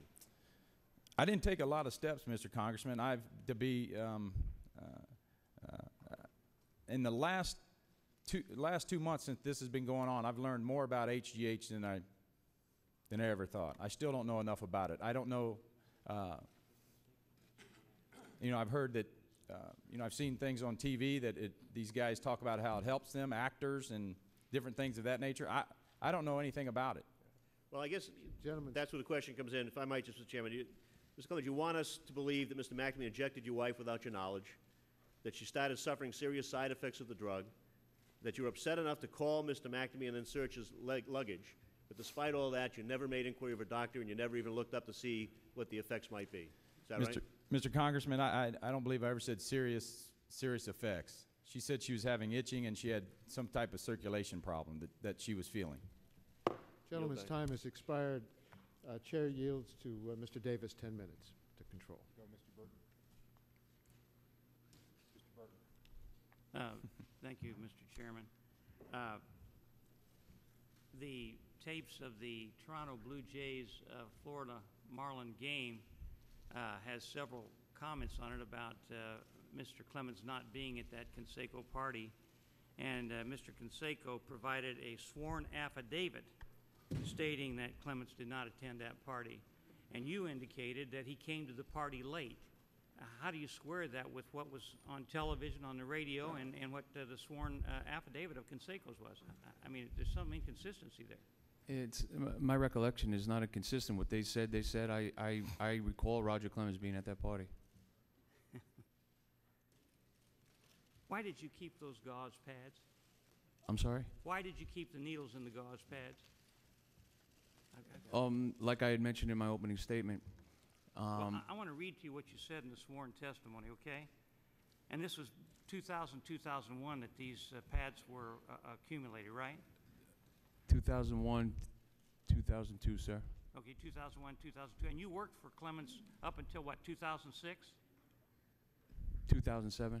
2007, so you stayed with him five years after you kept these materials, right? Yes, sir. Okay, I want to read this to you. It says, I kept them well because throughout my time with Roger Clemens, it, it was there always somewhat in the back of my mind that I distrusted him to a degree. And my gut feeling and the fact that I was an ex cop, I just felt that, and I think there were bits and pieces coming out in the paper. Why in the world would you work for somebody that you thought was uh, uh, unethical and would lie? And why would you keep this information for five years uh, if, you, if, if he was your friend and you thought that, that, that uh, he was to be distrusted? He was my employer. You, you do this to all your employers? I mean, is this the kind of uh, employee you was, to keep gauze pads and needles and everything for five years and go on and keep working for them? Well, it wasn't something that, that I thought about. It was just there, and it kept coming up. Um, it was in, in the basement, and as I, as I thought about it, more things came up. And as you saw um, in 2000, I wrote uh, an article in the New York Times regarding the more stuff that kept coming out about steroid use in baseball. So, for the fact that I would, I never felt good about what I was doing, the fact that it was illegal, I figured because I've done things before for other people and have got hurt by it, I might as well hold on to these things. And it wasn't something I how- dwelled how- on. How many, how many other uh, people did you uh, uh, treat that you kept their uh, gauze pads and needles? Possibly one other, And who was that? Chuck Knobloch. Do you still have them? I believe it's in the possession of the federal government. Yeah. Why, why did you not give those to the uh, uh, Mitchell Report Committee immediately uh, when you were contacted by them? Because I felt horrible about being in the position that I was in. You, no, let me get, I want to make sure I got this straight. Uh, your friend, Roger Clemens, you allegedly gave him these shots. You kept the pads and the needles for five years and went on and kept working for him uh, because he was your employer. And, and, and then you said you, you felt bad. You felt bad about pr- uh, proposing and giving these to the Mitchell Committee when you first started talking to them? Yes, sir. Gee whiz, are you kidding me? No, sir. My goodness. Yeah, a- and as I understand it from my colleague here, you told the New York Times that you had no direct proof at, at the beginning of this investigation, right? I'm, s- I'm sorry? You told the New York Times that you had no direct evidence like the gauze and needles at the beginning of all this. I told the, the, I didn't talk to the New York Times. I told the federal investigators and the Mitchell people that I had no direct evidence as far as physical evidence. January 5th, 2008. What's that? So you miss, you- so you didn't, you, you didn't tell the truth then initially to them? No, sir. You lied. Yes, sir. We, there's several things here that, that really bother me. First of all, you lied about him being at Canseco. Canseco said he wasn't there in a sworn affidavit. On the radio and on television, they said he wasn't there. And yet you still maintain that he did come there. And now you, you, you admit you lied about this. Are you lying about anything else? I mean, why don't you tell us? No, sir, and I'm not lying about Jose Canseco's house. So you just, uh, you just lie when it's convenient for you? No, sir. Yeah. What's that? Can you pull the microphone a little bit closer, please? Mr. Clemens, in your defamation lawsuit against McNamee, uh, it says that according to McNamee, he originally made his allegations to federal authorities after being threatened with criminal prosecution if he did not implicate you. That's an allegation of coercion. Uh, why do you consider McNamee trustworthy on this point, and, and uh, how do you have this kind of information that he might have been coerced into his testimony? Um, I just, uh, we, uh, the- what I've heard on different occasions um, about what he said and, and what he hasn't said, uh, um, the, there was a, a tape that I heard, the timeline would have been four or five days before the uh, report came out. It was a taped conversation from Jim Murray. And that's basically where I heard the allegations that were being said by Brian McNamee about uh, myself and uh, Andy Pettitte also, which again, that's the first time that uh, I heard Andy Pettitte's name and I about using HGH. I said, absolutely no way. Of course, now that I've learned that Andy has done it, uh, I was shocked. Mr. McNamee, I'm going to read to you a series of prior statements attributed to you regarding steroid use or the lack thereof by Mr. Clemens or Mr. Pettitte. I never gave Clemens or Pettitte steroids. They never asked me for steroids. The only thing they asked me for were vitamins. William, that was William Sherman and T.J. Quinn, Andy Totes, baggage to Bronx, New York Daily News, December 10, 2006. Did you say that? Yes, I did. Is that a lie? Yes, it is. Oh, it's another one. Okay. I told federal investigators twice that uh, Roger and Andy had nothing to do with it. Is that right? Yes, sir. Is that a lie? Yes, sir. Okay. I said, Roger and Andy, you know what? You have to talk to them. I don't know anything about that. I don't anything. I don't know anything about that. Transcript of interview by Jim Yarborough and Billy Beck. Is that correct? I'm sorry, can you repeat that, please? I said, Roger and Andy, you know what? You have to talk to them. I don't know anything about that. I don't know anything about that. That's a transcript of the interview by Jim Yarbrough and Billy Beck, Belk and Brian McNamee, December 12, 2007. Is that correct? I'm not sure, what, what are you referring to? What am I, what am I saying I don't know anything about? Sir? Let me, let me read you. Well, let's pass on that because, uh, I'm sorry?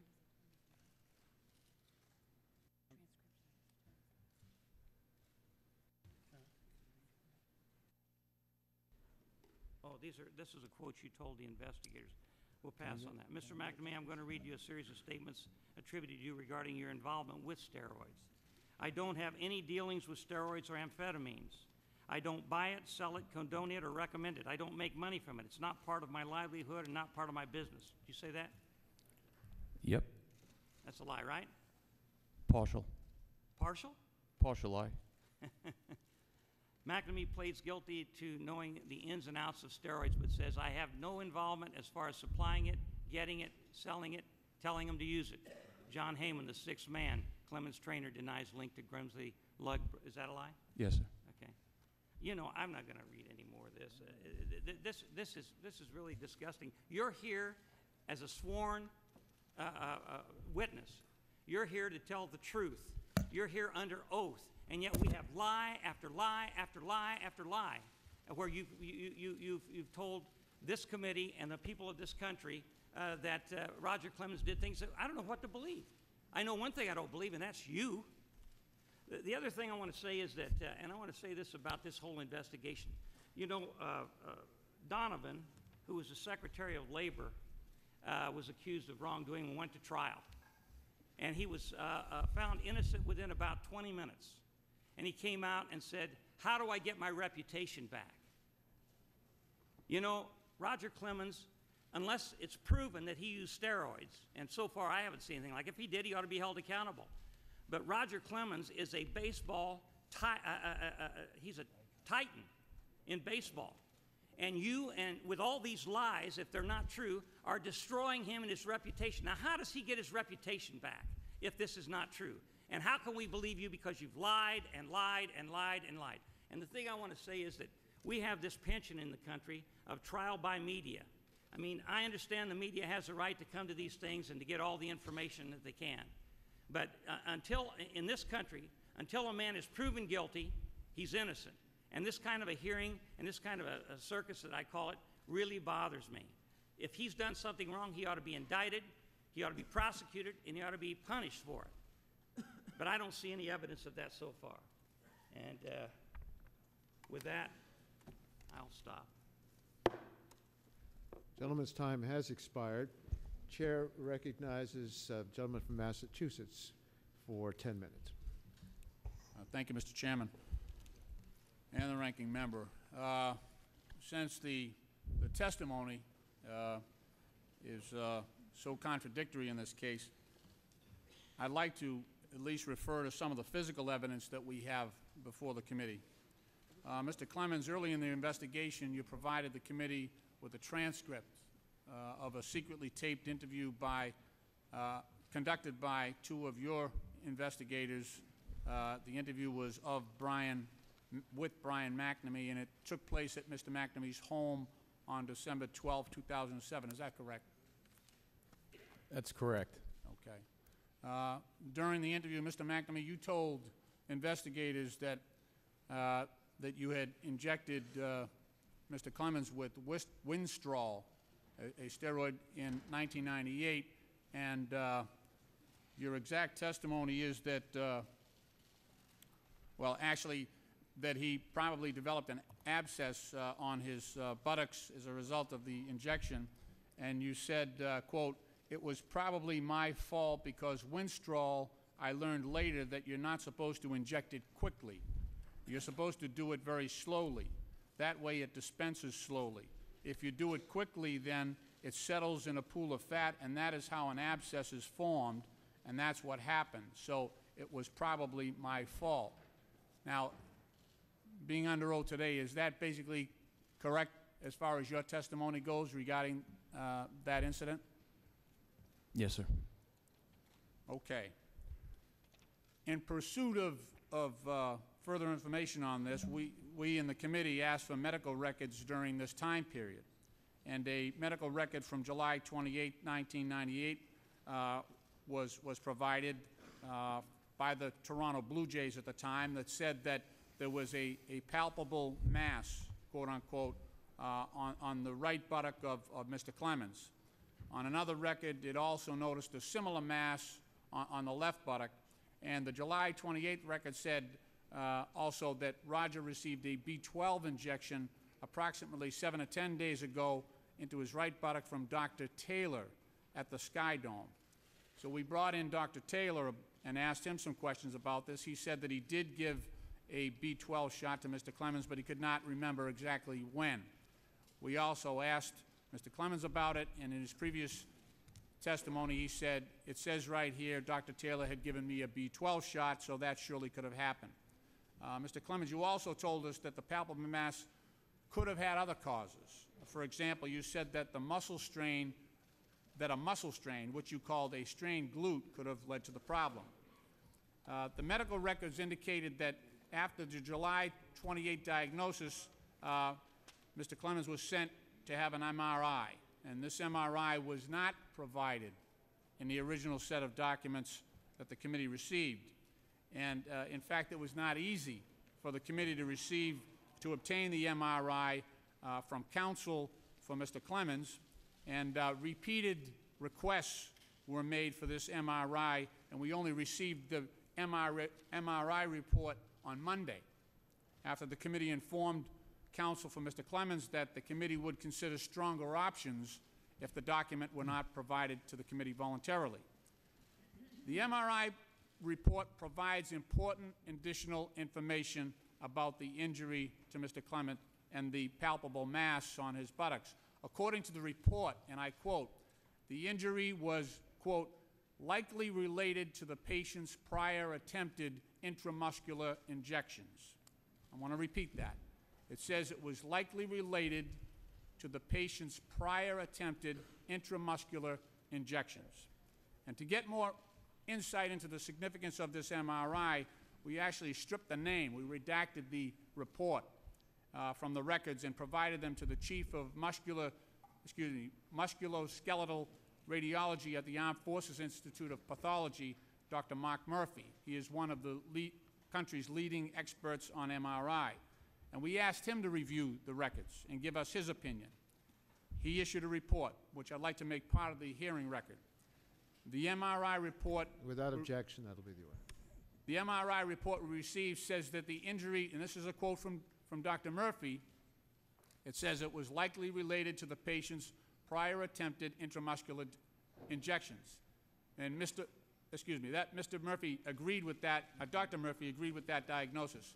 He said that the MRI showed that the muscles of the buttocks showed no strain or trauma, so he concluded the, the injury was not a strained muscle. Next, he gave his opinion about whether the injury was more likely caused by B12, a- as you've asserted, or steroids, as Mr. McNamee claims. And to be fair, Dr. Murphy stated that he could not be definitive without seeing the films, and he cautioned that the patient's reaction can vary. He said it wasn't a true abscess, but he did say this, and this is a quote It is my opinion that the history and the MR imaging descriptions are more compatible with the Winstrol injection as the inflammatory component is prominent by report. Mr. Chairman, I know it's highly irregular. May I ask counsel to Roger Clemens, please address the point of the congressman for one moment, please? The rules of the committee provide that counsel may advise their clients but not speak directly to the uh, hearing itself. Well, Mr. Chairman, given Reclaiming this- my time, Mr. Chairman. Mr. I Chairman, I may. would request that I be permitted, given the I- I'm fact- sorry, the rules don't provide it. Please talk to your client and have him answer any questions that are outstanding. Mr. Thank you, Mr. Mr. Chairman. Reclaiming my time, if I may. Uh, During our investigation, we also asked Dr. Taylor about whether he thought the B12 shot that he gave to Mr. Clemens could have caused the mass on his buttocks. He told us that this was unlikely. He stated that he had given close to a 1,000 B12 shots in his medical career, and they had never seen a complication like the one presented with Mr. Clemens. Uh, The head trainer, we also questioned Tommy Craig, the head trainer. He also told he had never seen a side effect like the one exhibited by Mr. Clemens from a B12 shot in 30 years as a trainer. As well, we asked the assistant trainer, Scott Shannon, in a career of almost 20 years, he said that he had never seen a B12 shot cause that kind of reaction. Based on the MRI results, it also appears definitive that the mass was not caused by a strained glute or other muscle strain. In addition, we have Mr. Canseco's testimony that on numerous uh, occasions, he had conversations with Mr. Clemens regarding cycling and stacking of steroids as well. Given the, given the physical testimony, uh, the physical evidence that we, we've had there that seems to be consistent with what, uh, much of what Mr. McNamee is saying, uh, Mr. Clemens, how am I supposed to receive this, this testimony? As someone who's simply looking for the truth and looking it to be supported by the physical evidence, uh, how, this, this, is not, this is not supportive of your claim. Much of this is supportive of Mr. McNamee's assertions. And I, just want, as someone who went through all of this, I want you to explain to me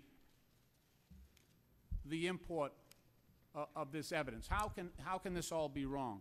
Help me here. Mr. Chairman, Lynch. Mr. Chairman, could I just ask a second? He's inserted into the record a report by uh, Dr. Murphy.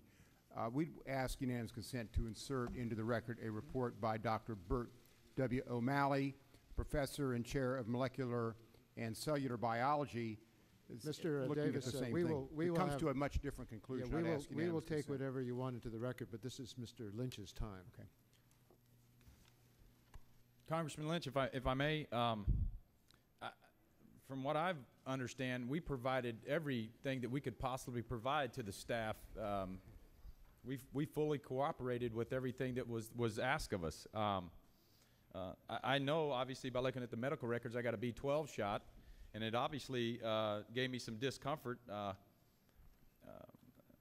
I, I hate to get on Dr. Uh, Taylor, who gave the shot, but he, he, if he gave me a bad shot, um, uh, he gave me a bad shot. I, I don't know uh, how to explain that, but looking at my medical records and uh, fully cooperated, you know, anytime I need an MRI, I've had uh, many MRIs on my body, so uh, that's, I, I've, again, I don't have any idea. Uh, I don't know who the gentleman uh, is that you're, you're expressing this today. But I, all I can tell you is what I know by my medical reports. We, we've had a Dr. O'Malley uh, review everything, and he concludes there was no steroids. Um, So I, I don't, uh, I'm, I'm doing every due diligent thing that I can possibly think of and giving the staff everything that I could possibly think of to look wherever they need to look uh, about this subject. So uh, I, I've not heard that we weren't cooperating on giving you everything that you could possibly need to look, look into this in any, any way, shape, or form. Well, and again, there was difficulty, some of the information came over uh, quite readily. It was difficult to obtain uh, others, especially this MRI report. But let's get back Well, Mr. to uh, the simple fact that you- You'll have to conclude, your time has expired. Okay. Uh, This is not the report of some unknown physician that, that we're contesting here. This is the reports of Dr. Taylor. This is the reports of, uh, of uh, the trainer, uh, Mr. Shannon, uh, and others who, who have said that in over, uh, Scott Shannon, uh, Dr. Ron Taylor, and Melvin Thomas Craig, these are, these are people who are very familiar with this. There's probably 60 years of experience here in giving B12 shots. Gentleman's time has expired. Uh, Mr. Davis? Yeah, thank you. I- I'd wanted ask to, uh, unanimous consent that a uh, s- commission study looking at the same MRA records uh, done by Bert W. O'Malley, uh, M- MD, uh, professor and chair of molecular and cellular biology at Baylor uh, University, be admitted into the record. Was this given to you by uh, Mr. Clemens? uh, It was. They, they had this done. I'd Without objection, uh, the the- the request will be uh, I mean, practically, I think asking Mr. Clemens to answer a medical, technical question like this isn't fair on a report he's never seen before. This was just made available to our side this morning for That's the correct, record. Mr. Congressman. Gentleman uh, and from I- Virginia is recognized in And his I- I'd, 10-minute I'd round. also notice, uh, note that Alan Gross, who was the doctor who ordered the MRI and actually is the only doctor here who viewed Mr. Clemens' injury himself, uh, gave a deposition to the committee that'll be released this afternoon under oath, uh, and he came to a much different conclusion. He didn't even see an abscess at that point. The only reason he ordered an MRI is because this was Roger Clemens. This was the franchise, and if you see a bruise on your star player, you're going to go get an MRI, and you're not taking any chances. And there was zero evidence at that point, or even suspicion, uh, that drugs or anything had caused this. And that deposition, I said, will be released uh, this afternoon. So, listen, I, I will just say this was literally a new definition of lynching uh, with the last question that came in asking uh, Mr. Clemens a technical medical question like this on a report that he had never had the opportunity to see before.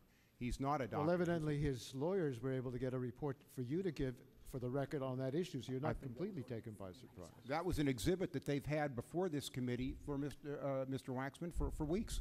Mr. Chairman, out of respect, I believe the, the committee got the report also.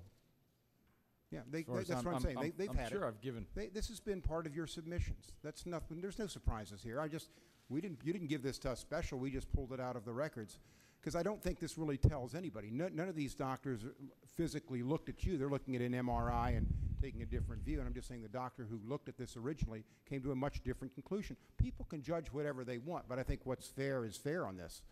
Um, Mr. McNamee, let me just return to you since Mr. The other side seems to be focused on Mr. Clemens. At your deposition, you testified that one of your alleged injections of Winstrol went wrong. Is that correct? I'm not saying one of them, I'm just relating that it possibly that I did it too fast, that it could relate to this abscess. Yeah. You, Not which one, I'm not sure. Uh, I think it was the one in the Tampa Bay clubhouse. Does that ring a bell? I know I, me- I mentioned that, but I was just, I didn't know when that trip took place. Well, I'm just trying to get into this abscess question. Okay, uh, Yes, that's sir. that's not as important. Now, when you, you said that when you inject Winstrol too quickly, one of the risks is having an abscess form. Is that correct? That's what I believe. Okay. And you said that you thought that Mr. Clemens developed an abscess? I was told by the head trainer that he developed an abscess. You said that head trainer Tommy Craig told you that. Yes, sir. You said Clemens came to you around this time and said something along the lines of, get rid of this stuff. Is that correct? Um, yes, sir. A little bit after his treatment for the abscess, he had come to me and said that. And you interpreted to get rid of this stuff, meaning he did not want to use Winstrol. He, That was your he threw it in my locker and he said, get rid of this stuff. So, yes. You said there was a good portion left of the season when he stopped using Winstrol. That was my recollection. Now, if you go back and look at the Blue Jays' schedule for 1998, the team was in Tampa, where under your testimony, uh, you, you noted that it was Tampa. Uh, the testimony will be released today. The team was in Tampa in the middle of June and toward the end of September. As you testified, uh, this botched injection supposedly occurred at the end of July or the beginning of August. Can you reconcile this at this point as you look back on the schedule? Sir, the, bo- the, bo- the botched injection is just something that I'm, I, I felt bad about that I might have done. I'm not exactly sure it was a botched injection. Uh, that's what I told the people. But my recollection is Your deposition said this happened in the Tampa clubhouse, and I'm just saying the only times they were in Tampa were in the middle of June and the end of September. And as you testified before us, it was at the end of July or the beginning of August. And I'm just saying, could your mem- memory be faulty on this? very much so. Another problem is that head trainer Tommy Craig recalls nothing about any abscess in our conversations with him. Isn't it unusual that Tommy Craig would fail to recollect an injury like this to the star pitcher at the time? Tommy Craig was a trainer for a very long time, and we're talking about 10 years ago. So I'm Which sure you, you- which you seem to have a very vivid memory of, and, and they, no one else seems to. that's why I told um, in my deposition I, I felt bad because I had assumed it was my fault. If Craig treated an injury to Clemens' buttocks, wouldn't that be something he would recall? This was the star. You'd have to player. ask Tommy Craig. Now, he wasn't the only member of the medical team that failed to recall the injury to Mr. Clemens' buttocks. Assistant trainer Scott Shannon, when asked, didn't remember it. Team doctor Ron Taylor didn't remember it. Team orthopedist Alice, Alan Gross, who, who ordered uh, the MRI, didn't remember. He, he, in, in- in fact, uh, when in his testimony, he came to a much different conclusion uh, than these after-the-fact people who just looked at the MRI if Roger Clemens, the most famous pitcher in baseball and really the franchise for the team at that point, at least on their pitching side, had developed an injury known to be the type of injury associated with steroids, wouldn't you expect someone to recollect it along the way? Well, Except for you? You're the only one who seems to recollect it? none of those people were, were injecting Roger Clemens with illegal steroids in his butt. No, and whether you did or not, I think remains an open question. But the question I'm asking is, we're talking here about an injury to him that was a result of that. And they don't, they did see an injury and they ordered an MRI as a result of that. But none of the alarms went off. Now, the medical records show that Clemens had some type of injury to his buttocks at the end of July. There's no question about that. But according to the MRI, it was not an abscess. It was simply described as a palpable mass. In layman's terms, this could have simply been a bruise. Are you certain that Tommy Craig told you that Clemens had an abscess? Yes, I'm certain. Okay. Both head trainer Tommy Craig and team doctor Ron Taylor told us the MRI was ordered because they thought the bruise or buttocks injury may have been caused by a muscle tear. The MRI was not ordered to look for an abscess. The MRI was ordered because the team's star pitcher was injured. Now that you know Tommy Craig, Scott Shannon, Ron Taylor, Dr. Gross all say no abscess and no memory of this injury, you still stand by your allegation that he had an abscess. It's not my allegation. It was he was getting treated for an abscess diagnosed by the head trainer, and he was getting treated with ultrasound, which it was right over the, the area. The ultrasound was right over the area where I injected Roger Clemens with Winstrol. Okay. Now, Dr. Taylor says he gave two B12 shots in his life, and one was to Roger Clemens in July of 1998, which was the time of the injury and was not in Tampa. Uh, the medical records also say Clemens started complaining of soreness in his buttocks after receiving this injection. How can you be so sure this buttocks injury was not the result of the B12 shot, since that is the only shot that could have taken place uh, at that point? The, the Tampa, where you alleged uh, originally this took place, were going to be in June and September. How do you reconcile that? I'm not sure I follow your question. Well, the question is simple, that i the only time they were in Tampa where you testified this took place was in June and September. This injury took place in July, the MRI July-August timeframe. And we know that he received a, a shot for B12 during that time. So if there's any kind of shot or abscess, it would have had to be the B12 shot. It couldn't have been the steroid shot you're talking about because they weren't in Tampa at the time. I know, but you're, you're, you misunderstood the deposition then because what happened was I assumed, not knowing when the Tampa trip was, I just said because that was a hurried, a hurried um, instance where we were in the closet and that's where the injection took place. But I was unaware of the dates and my recollection Yes, was. you were unaware of the dates, which is why we have an inconsistency here. Right, I wasn't aware of the dates. That's right. y- You weren't. And, and now that you are, it, it makes your statement inconsistent because this took place in the July-August timeframe where they weren't in Tampa. Let me ask you this, Mr. McNamee. Why did you inject professional athletes with substances you knew to be forbidden or illegal uh, as a former police officer? Well, it was something I shouldn't have done and I'm ashamed for it and that's why I'm here today. Why did you keep doing it? I believe I haven't since 2002. But why did you keep doing it for as many years? I just accepted it as the norm and it was part of the culture of baseball. How prevalent was it? Excuse me? Hmm? Excuse me? How prevalent was this in, the, cl- in clubhouses uh, across uh, baseball at the time? I think with the, within the players, it was pretty prevalent, and I'm not sure about other strength coaches and their and their uh, involvement. Okay.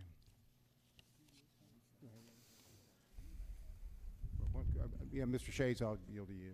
Just Just listening to your testimony, you said you believe you haven't uh, injected anyone i- with any illegal uh, drugs since 2002. Uh, What does the word believe mean? Did you or didn't you? Um, I wasn't really uh, I, about ball players. I haven't, but I inject. I instructed Debbie Clemens in 2003. Thank you. I- 2002. Let me ask a question before our time runs out. Did you ever tell Andy Pettitte you were contemplating suing Hendricks Sports Management? I might have. Did you ever contemplate litigation against the LA Times following the stories relating to, relating to Jason Grimsley's affidavit? Yes, I did. Okay. Gentleman's time has expired. Just for the record, as I understand it, there was an injury on Mr. Clemens' buttocks. This was in the team records, and in the records, it said that the injury was related to an injection. Do any of you disagree with those three statements? Okay. No. No, Mr. From- Mr. Chairman, let me just add, and there was an injection of a B12 B12 injection. shot, from what I understand during in the my time. That's medical one- reports. That's one contention. The other contention, it was an injection of something else. But those three points that I made, uh, for the record, are accurate. Uh, Mr. Kanjorski is recognized for five minutes.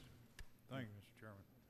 Uh, In an attempt not to have Mr. Scheeler appear to be a potted plant, I'm going to talk with you, Mr. Chairman. I, I gather you were instrumental in preparing the Mitchell report, is that correct? I did assist Senator Mitchell. Yes, Excuse me? No, no, no. I did assist Senator, Senator Mitchell, yes, Congressman. Okay. If you pull that a little closer to you, when you get to be my age, you lose about twenty percent of your hearing capacity. And I just don't want to embarrass the other younger citizens in the audience, okay? Uh, Let, let me uh, uh, preface my remarks with one or two comments. I have the highest regard for Senator Mitchell. As a matter of fact, at one time, he was my uh, proposed candidate for president. So, uh, and I've known him for more than a quarter of a century. So any of the remarks that I make to you or questions I ask of you are not intended to impugn his credibility or his reliability. But having been involved in Washington in a few years and noting that the Mitchell report was quite extensive, in of 400 pages, is that correct? That's correct. Now, I know George Mitchell is a very dedicated person, but I don't suspect that George Mitchell wrote every one of those 400 pages in his own handwriting or even by his own dictation. Is that uh, reasonable to assume? He did not do the first draft of every word. He did not do the first draft of every word, but I will tell you that he reviewed every sentence, every comma, every so- semicolon on multiple occasions. So would you say that he substantially stands by every fact set forth in that report? Everything that we said in the report was, at the time we wrote the report, we had a good faith belief for it, and We we had a what? We had a good faith belief for it, and we believed it to be true. Okay, have you changed that opinion now? No. You, you believe every fact set forth in the report is true as set forth? Sitting here at this moment, I cannot think of a single fact that we would um, recant. No. So, so the supposed meeting that occurred at S- S- uh, know, uh, Canseco's, Canseco's house, uh, you've reviewed that, and he is told a lie, and uh, the people that reported the ball game, they've told a lie? Is that correct? Or did that meeting not occur? Did it or didn't it occur? That's the question. I would say at this point, we're not at a, it's not our role to judge what the subsequent facts are if they ever come to Whoa, play. Whoa, whoa, you mean But- to tell me if you're going to say I committed perjury or lied about some substantial fact, and, and in doing that, you placed me at a particular location, and then it turns out that you couldn't possibly have been there and you weren't there, that's not material to your report? Well, let me, let me try and put the Canseco lunch into perspective then for you. Obviously, Mr. McNamee told Senator Mitchell that Mr. Clemens had been at Mr. Canseco's house for a luncheon. And this, I would, I, I would add, uh, is, is an instance which shows it's one of, one of the reasons why we would have liked to have talked to the current players I- I- because we could have gotten additional facts. Right, we would But- have liked to have talked to God to find out, but you didn't. We would You have liked to talk to the Relied on one players. witness, and he put Mr. Clemens at a location that supposedly other impartial parties have provided affidavits that he cou- wasn't there and couldn't have been there. Now, my question to you is the writer of that report, and I'll assume Mm-hmm. you're the writer of that report. Which of those facts is this committee and the public of the United States to accept? Did this meeting occur where the conversation of steroids occurred, or didn't it?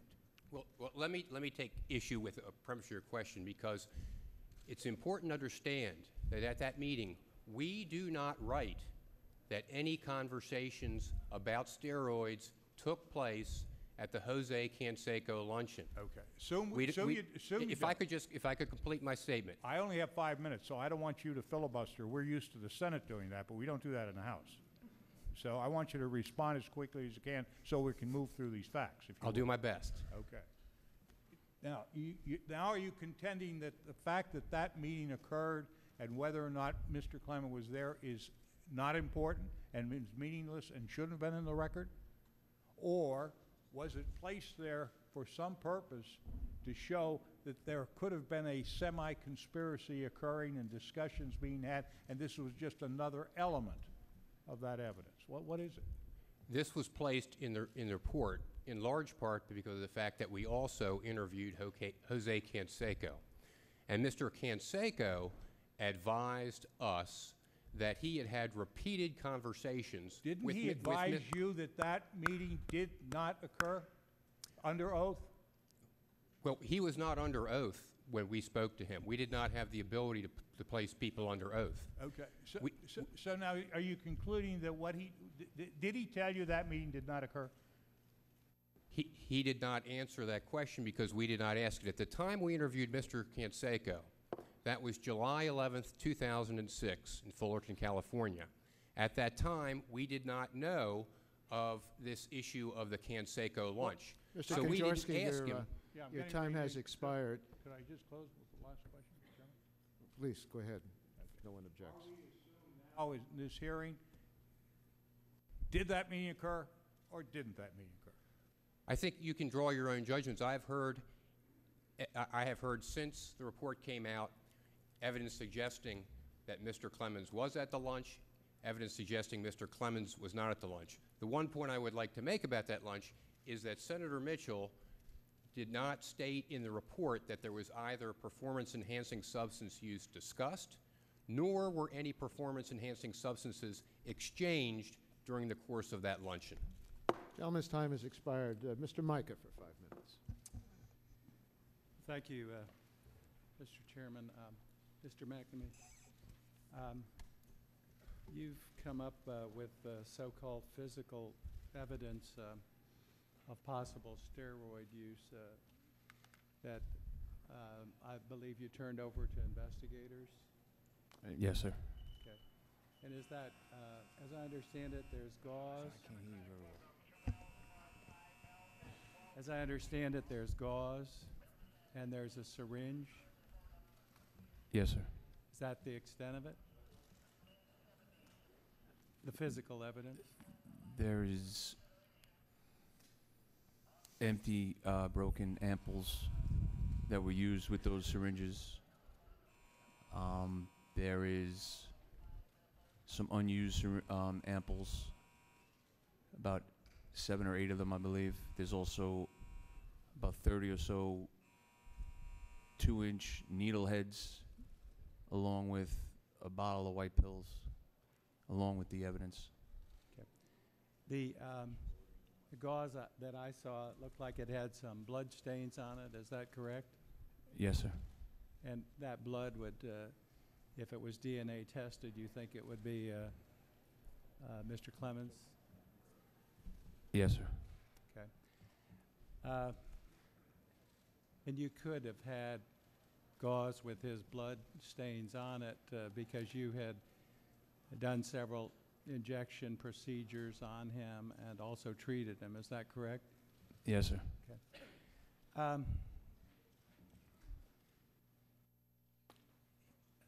Mr. Clemens claims that he was treated with uh, vitamin B12, I guess it was, and you, did you do some in- of those injections? I, I can't hear you, sir. I said, Mr. Clemens has said that you treated him with uh, injections of vitamin B12. Is that correct? Negative. You never did any B12? No, sir. Okay. Uh, What color is this?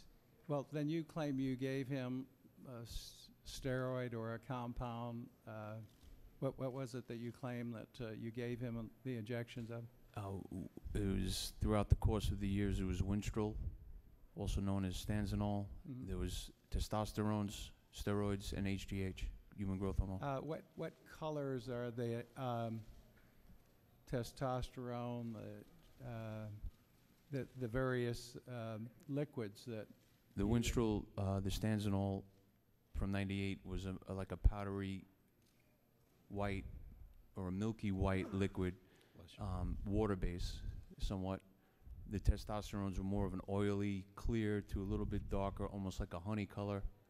And the HGH, once it was mixed with the diluted water, it would become clear. So basically clear to honey tone. Uh, And milky Cle- white. Mr. Clemens, you claim that, uh, you did admit that you were injected with vitamin B12 and um, also um, you admitted to uh, lidocaine. Okay. What color is the uh, vitamin B12 shot? You, you told me you had uh, quite a few shots. Brian McNamee uh, gave me shots of, on four to six occasions of B12. It, it's red or pink in color. Lidocaine, I have, I do not know the color of lidocaine. He Mhm. gave me one shot of lidocaine uh, in my lower back, um, and that happened in Toronto. I, I have no idea. No, he could have uh, gauze with your, uh, with your blood sample on it. Is that correct? Absolutely. Okay. Uh, But you have said that the only two injected substances you had that you, and it- was it, was it uh, uh, Mr. McNamee that, uh, that injected those two substances? That's correct. Okay. Um, And you, you also said that the, you knew very distinctively the color of the B12 because you'd had that injection. And, and that's a fairly distinctive color. That is correct. It was And red you or pinkish in color, and What color was what he injected you uh, when, when uh, you thought it was B12? I'm sorry? What color was it when he injected you when you thought it was B12? It was red and pink. B12 was red and pink that he gave me. I, I don't remember the color of the lidocaine. It was one shot. He told me it would give me uh, some freeness in my back. Uh, So, so we may never know because he may, he may in fact, uh, and you say he would have gauze with possibly your, possibly your blood DNA sample on it. That would be correct? He sure could have. Okay. Uh, But we don't know what uh, he injected, but he, he he just testified that the substance was a different color than, than, uh, than in fact you recognized. And uh, in fact, you told me on a prior occasion the color of the substance you were injected in with. Is that correct? I'm sorry, I didn't. I said, you told me the color of the substance you were injected with. That's why I asked him that That's correct. question. That's uh, correct. First, so you- you Gentleman's don't think, time he- has you don't think expired. he's telling the truth then? Brian McNamee's never given me growth hormone or steroids. Thank you. The gentleman's time has expired. Uh, Ms. Maloney, do you want to take your five minutes now? Yes, thank you. Thank, thank you, Mr. Chairman. Uh, First of all, uh, Mr. Clemens, as a New Yorker, we are very proud of your professional achievements. Uh, Thank you for your many efforts to help children through your foundation. And uh, you are, you are an important role model to many young people. And I am uh, concerned about these allegations against you and your conflicting response uh, to many of them. Uh, First of all, the, the Mitchell report was released in December of 2007, and, and after it was issued, you began speaking out against these allegations. One question that I have is why did you refuse to talk to Senator Mitchell when he reached out to you before the report was released? And specifically on page 175 of his report, it says, and I quote, in order to provide Clemens with information about these allegations and to give him an opportunity to respond, I asked him to meet with me, and he declined. End quote. As part of your public statements, you went on 60 Minutes, and during an interview with Mike Wallace, he asked you, why didn't you speak to George Mitchell's uh, investigators? And in response, you stated, and I quote, I listened to my counsel. I was advised not to. A lot of the players did not go down and talk to him as well. And do you remember saying that to Mike Wallace on 60 Minutes? Yes. Mr. Clemens, in your deposition with our, our committee, you gave a very different explanation. You did not uh, tell us your lawyers told you not to speak to Senator Mitchell. You repeatedly told us you had no idea Senator Mitchell wanted to talk to you. And let me give you some examples from the transcript. First, on page 112 uh, of your deposition, you were asked, were you aware that Senator Mitchell was seeking to interview you? And your answer was, I was not. Then later on page 112, Senator Mitchell sent a letter to the Players Union in July of 2007 requesting an interview with you, and, and uh, you were not, you, you, you uh, testified that you were not aware of this uh, request. You said, I was not aware of it. Then on page 117, when Mr. Hendricks, your agent, heard about the invitation, did he communicate with you that you were invited to talk to Senator Mitchell? And your agent, uh, you answered that he did not even communicate this request to you. Then on page 115 in the July uh, time framework, your agent uh, Hendricks never said to you, by the way, Senator Mitchell wants to talk to you. And your answer was, that is correct. Then on page 116, in October, Senator Mitchell informed the Players Union that any player who agreed to an interview would be provided with the evidence that Senator Mitchell had. Did you know of this in 2007? And your answer was, I did not. And then you made this definitive statement, and I quote, I had no idea that Senator Mitchell wanted to talk to me. If it was about baseball and steroids in general, I would have wanted to see him. And obviously, if I knew what Brian McNamee was saying about me in this report, I would have been there, end quote. So, Mr. Clemens, there were six times that you told our committee under oath that you had no idea that Mitchell wanted to talk to you. Yet you said on national television that you refused to talk to Senator Mitchell as at, on the advice of your attorneys. So I have two questions about this. First, why did you give one explanation on 60 Minutes for why you failed to talk to Senator Mitchell and a different explanation in the depositions before this committee? Congresswoman, the fact of the matter was I was never told uh, by my baseball agent slash attorney that uh, we are asked to uh, come down and uh, see Senator Mitchell. Like you said in that statement, if I knew the lies that Brian McNamee were telling about me, I would have been down there to see Senator Mitchell in a heartbeat, in a New York minute, if you will. Um, I was never told about that. The Players Association, from my understanding, reached out to a lot of the players. I don't believe um, any player went down other than, from what I understand, Jason Giambi. Um, and it was relayed to Mr. Hendricks, who you stated uh, his name in that, uh, my earlier uh, testimony. It, it was never uh, brought to me. From talking to Randy Hendricks and um, I believe the Players Association, uh, in my situation, I had to answer allegations back in 2006 about an LA Times report. But would- would you say then that, that uh, your agents did you a terrible disservice by not uh, bringing this information to you, that you had an opportunity to talk before the report came out? Um, I, I would say so. Uh, and, and with And, all, and can I ask, what as- actions did you take after you learned that your agents kept from you Senator Mitchell's inquiry? I, I would say that if the Ethics Committee in the House uh, sent me a letter about uh, possible illegal action, and my staff kept this information from me, um, I, I would have fired my staff. And so my question to you, have you fired these agents that did not inform you about this? What action have you taken with this uh, really breach of trust?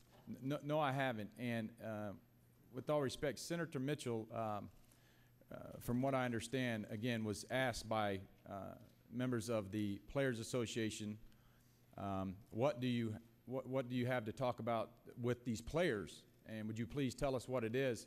And they said, we're not going to respond to that. You'll have to come down and see us. My time has expired. Thank the gentlelady. Uh, Mr. Souder for five minutes. Thank you. This has been uh, uh, very frustrating. I'm sure it's been very frustrating to those who are watching too. Uh, when you testify in front of this committee, it's better not to talk about the past than to lie about the past. And somebody's not telling the truth today. Now, I, I'm disappointed that the other witnesses are not here. And I understand from the chairman that we plan to release those depositions. And I hope the public understands that what we're having today is a very short form. I went through most of these depositions last night, hundreds of pages. And when this is released, you're going to get somewhat of a more comprehensive view. What's interesting today is to see the interaction, but I, I would argue that those depositions are fairly uh, devastating. Mr. McNamee, uh, there was something that caught my attention that I would like to raise. It was a side comment fairly far into your testimony. You um, were discussing related issues, and you alleged that David Cone, a player rep for, I believe then, the Toronto Blue Jays, said, quote, the owners want the union, uh, the owners went to the union and said, we don't want to test, but you've got to give us some valid excuse to go to the media. Do you have any more knowledge of that, and is that accurate characterization of what you said? Because that is an incredible allegation here, because the union has been being blamed for not testing, and that there hasn't been an investigation of the owners thus far. And what you're saying is a player rep went uh, to who and said that? Did you hear this second hand, third hand? The, the player rep came to me, and that's what was told to me. Why That, did that, those statements. and why did he come to you? um, because of my background, and he wanted to know. He was talking to me on the back of the plane about the current state, which reverts back to, um, I guess, I believe it was two. Yeah, it was 2000, and I think uh, he w- they were just. It was just a conversation, And he he told- thought maybe I had maybe I had some knowledge that might have led to believe that um, steroid use w- w- didn't enhance hand-eye coordination, which is what is baseball is mainly depicted as, as far as ability. M- Mr. Chairman, um, I know you don't want to have another hearing. I'm not advocating another hearing, but the Mitchell report was not targeted towards the ownership, and it's one thing we haven't investigated. This is a second to third hand type of, of revelation, but I think that the staff needs to look at this because this comes to the core question of the legislation that you, I, Congressman Cummings, Congressman Davis, and Senator McCain introduced about whether we can trust baseball to, in fact, do testing on themselves. And if it's true that the owners wanted to, in effect, cover up and not have testing, This is a very serious allegation. Well, I thank the gentleman for his comments. That, We'll um, also, um, uh, Mr. McNamee, um, when he held the press conference and played the tape live to the national media, that appears to have really have ticked you off. Yes, sir. Uh, you made a reference in your deposition that that's when you produced the physical evidence. Yes. Um, that, do you believe that physical evidence, uh, friend Mr. Mica was questioning, uh, yes, there'll be blood. Mr. Clemens said that the blood could be from a number of other things. Do you believe that physical evidence will tie it directly to an illegal drug? Yes, I do. Do you believe it can be debated whether or not, in other words, will it be on uh, the needle or something that clearly takes the DNA to that? Uh, have you ever handled physical evidence when you were a policeman? Physical evidence? Yes, like this. Uh, DN how to how to No, track it, I've- how to protect it, what it's likely to show. So you're are you speculating at this point, uh, or do you know in fact that the DNA will be traced to HGH or steroids? I'm speculating. Okay. The uh, because the DNA, uh, if it's clear, will not disremember. In other words, it will help settle a debate. But if there's a dispute whether it was B12 or that, it, that even could be confusing. But I think it's important for the record because I, I chaired the narcotics committee for a long time, and I can't tell you how much these depositions look like any kind of narcotics debate we have. It looks like cocaine. It looks like methamphetamine. And when you when you talked in your testimony about lying in the early stages, we often see witnesses who are caught who go to the federal government and initially give up just enough so they think they're not going to go to jail, but they don't really turn over their major clients.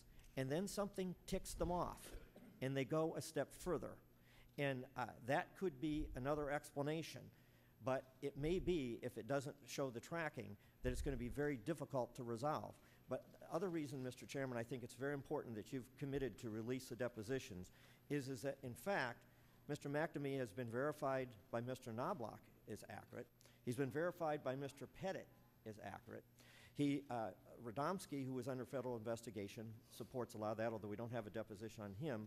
And one last thing, would have been great to have Mr. Knoblauch here today because it was a sad testimony that he had about his life experiences and about how he wanted to come clean for his family. I urge people to read that.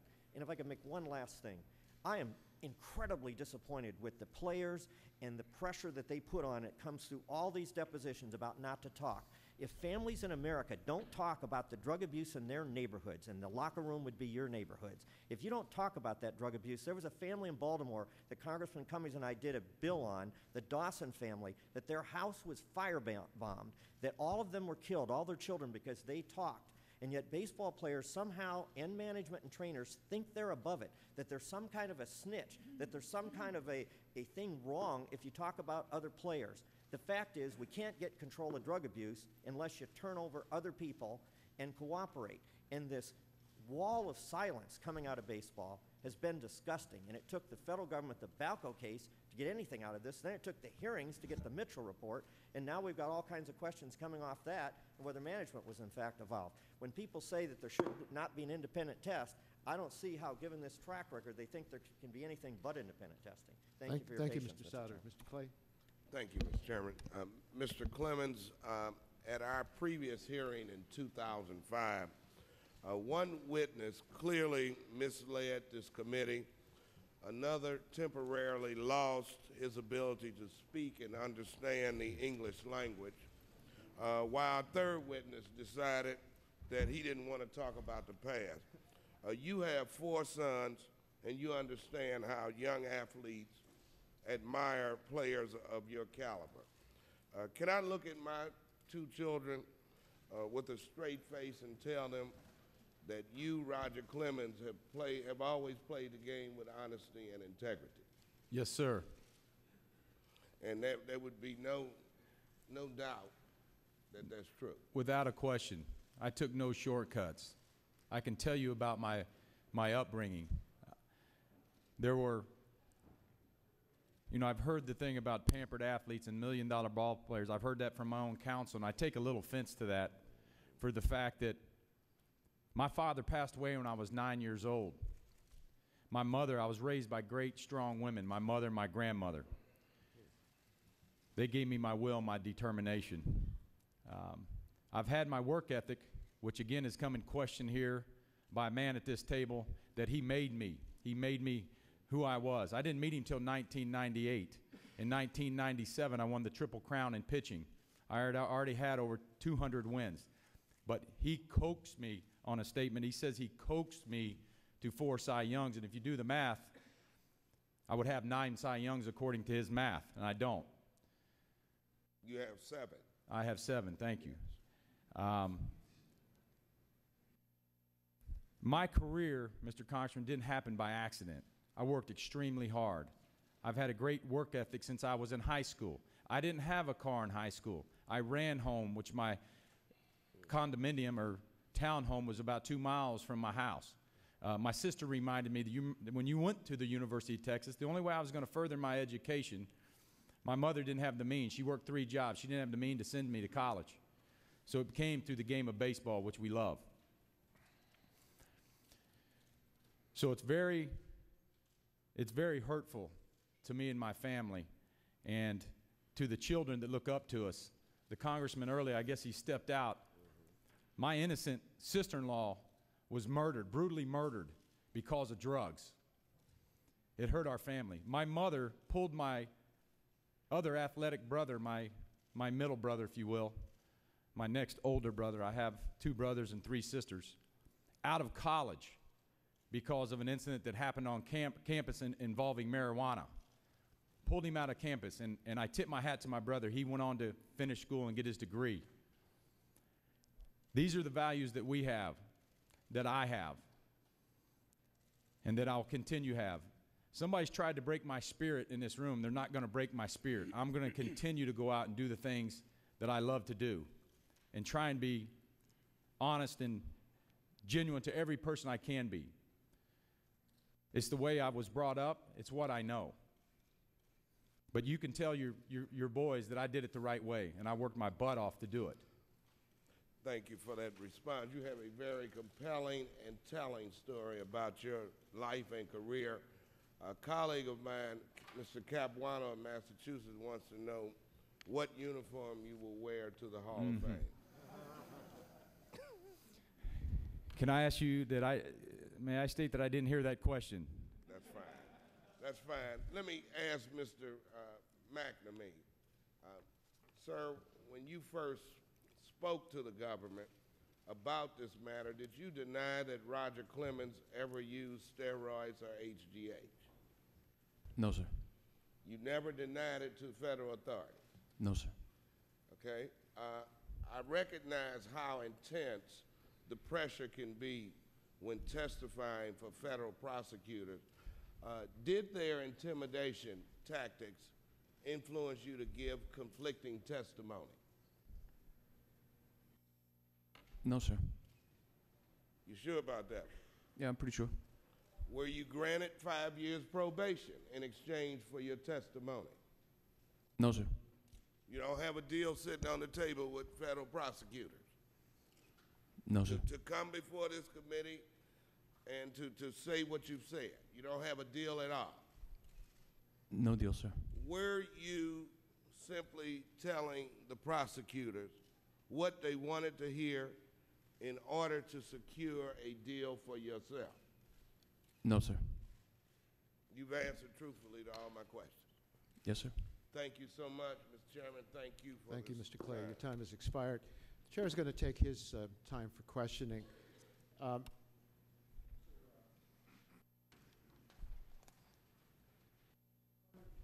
Mr. Clemens, I'm puzzled about something that happened last week, and I'd like you to help me understand why you did what you did. Uh, you have a tough job today. You, you said you find it very hard to have to prove a negative, but your attorneys have provided documentation to rebut the passage in the Mitchell report about a party at Jose Canseco's house. I, I don't view this passage as anything central uh, to the issue before us, but it's important that we know if it's true. And your attorneys and you have been very forceful in telling us that the report is wrong. You were not at Jose Canseco's house between June 8th and June 10th, 1998, when the Toronto Blue Jays were playing in Miami. During your deposition, you were asked, uh, could you have been at this house during the this time period, June 8 to June 10, 1998? And you answered no. Is that, is that a correct statement? The, on the date, sir? Uh, did you answer no to the question whether you were at Jose Canseco's party? If you repeat your question, then I can, please. Well, during your deposition, you said, you were asked, could you have been at his house during this time period, which was June 8th to 10th, 1998? And you answered no. Uh, you've given us supporting materials. You provided an affidavit from Jose Canseco that said that you were not at his house during the team party on June 9th. You provided a golf receipt from 8:58 a.m. on June 9th, which showed that at least that morning you were purchasing merchandise at the golf course next to Canseco's house, and you provided excerpts from a baseball broadcast that reported that you were not at the team party. And these came up uh, when several other members asked you about it. It's all very helpful. When the committee took Mr. McNamee's deposition, he had a completely different recollection, as he has today. He had a clear recollection of, that Mr. Clemens was at Mr. Canseco's home. So our committee staff investigated this issue, and we received conflicting evidence. I'm not surprised by conflicting recollections of a party around 10 years ago. Um, th- that was really of no special importance. But Jose Canseco thinks Roger Clemens and Mr. Canseco's ex-wife weren't at the party. Mr. Canseco's ex-wife, De- Jessica Fisher, believes that she was there, and so was Debbie Clemens. Mr. McNamee told us that one key witness who would know whether you were at Canseco's house for that party was your former nanny. And the committee staff asked your attorneys for her name last Friday so we could contact her. We made additional requests for her name and contact information over the weekend. Around 5 p.m. on Sunday afternoon, committee staff made another request and asked your attorneys to refrain from contacting the nanny before the committee staff could speak with her. It wasn't until Monday afternoon that your attorneys provided the nanny's name and phone number to the committee. And it wasn't until yesterday that the committee staff actually spoke with the nanny. Uh, are you aware of all this? I- Time frame, timeline about the nanny? I'm, I'm not sure of all the, the, the timeframe. I know that, Okay. yeah. Well, what the nanny said to us when we finally contacted her yesterday was important in several respects. First, she said that she was at Mr. Canseco's home during the relevant time period. In fact, she said that she and Mrs. Clemens and the children stay overnight at the Cansecos. Second, she, secondly, she told us she did not remember any team party as described in the Mitchell report. And third, she said that she did not, she did remember that you were at that home during the relevant time period, although she didn't know how long you stayed or whether you spent the night, night with your family. The third point directly contradicted your deposition testimony, um, where you said you were not at Mr. Canseco's home at any point June 8th to June 10th, 1998. But it's entirely understandable to me. It was 10 years ago. Here's what puzzles me about your actions. We have a transcript of the interview with the nanny, whose name I'm not going to release to protect her private privacy. But in this transcript, she says that on Sunday, this last Sunday, you called her and asked her to come to your Houston home. She had not seen you in person since 2001. But after you called, she went to your home on Sunday afternoon. And I'd like to read a portion of the transcript of the committee interview. Question When you said you didn't remember a party, what did he say? Answer He says, You know, the reason you don't remember that party is because I wasn't there. He said, Because I, I know that he was playing with Jose. Question So did he ask you, Do you remember a party? And then you said you did not remember a party? Answer That's right. She also told the committee staff that you told her that she should tell the committee the truth. And after your meeting, an investigator working for you called her and asked her a series of additional questions. Your meeting took place two days after the committee staff made a simple request for your former nanny's name. And then it took 24 hours after your meeting for your attorneys to provide her name to the Republican and Democratic staffs. And that's why I'm puzzled about this. Uh, why, what was it your idea? Why, what was it, was it your idea to meet with her before forwarding her name to us, or did someone suggest that to you? Uh, Mr. Chairman, I believe that, uh, just like through this whole hearings, I was doing y'all a favor by finding a nanny that was supposedly came in question. Well, you, So, you, you might have been trying to do us a favor, but who told you you should invite her to your house to, that you haven't seen her in all those years? Chairman, this is unfair. What his lawyers tell him is unfair for you to ask, and I will tell you. Okay, well, I in accept that. case, I we accept seek that. I accept that. Uh, well, Gentlemen, please be seated. Um, Was it your idea? That's, a- that's the my appropriate, was it your idea? It was my idea to investigate what witnesses know. Okay. Just like any other lawyer in the free world does. Did you think, Mr. um, Clemens, it was a good idea to invite her to your home on Sunday after not seeing her for seven years? I'm sorry? Did you think it was a good idea to invite your, invite her to your home after you hadn't seen her for seven years? I was uh, told on Friday night to um, see if you, you know, we could locate the, uh, the uh, nanny. We'll leave, obviously, it's very nice. I don't think that she needs any publicity, but um, we- I was told on Friday night that you guys may want to talk to her.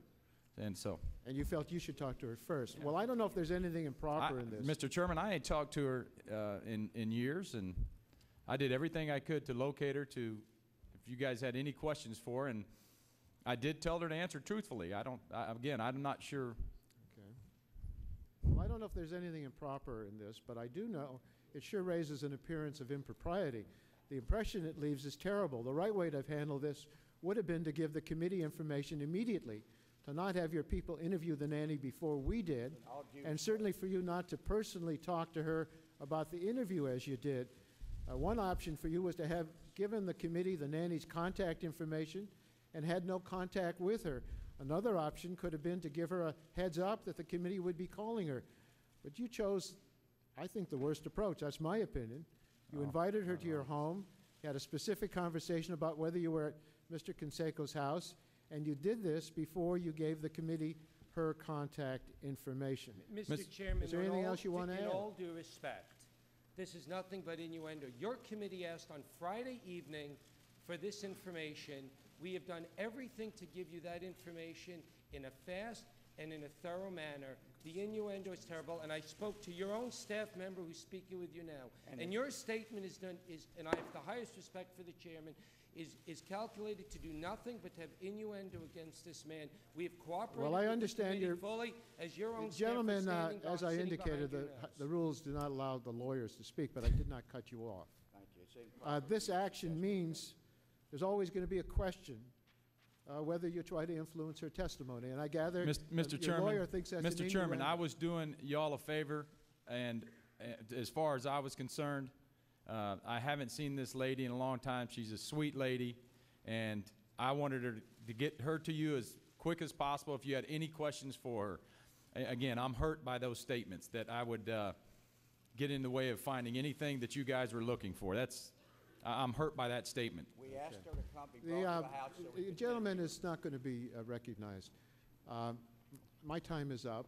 Uh, Ms. Norton is here, and I want to recognize her for uh, five minutes to ask a question she might have. Uh, Thank you, Mr. Chairman, and, and I want to thank uh, both Mr. McNamee and Mr. Clemens for having the guts to show up here uh, without uh, ha- having been subpoenaed. Uh, Mr. Clemens, uh, much of, of what we're about here turns on concrete evidence, but much of it on credibility. And my questions really go to your longstanding relationship uh, with Mr. McNamee. We almost 10 years of relationship from 98 uh, with the Blue Jays until 2007, and a whole string of of uh, evidence about the closeness of that relationship. Uh, you training with him in Kentucky. Uh, got you Bruce Springsteen. You got him uh, Bruce uh, Springsteen tickets. I'd call that love.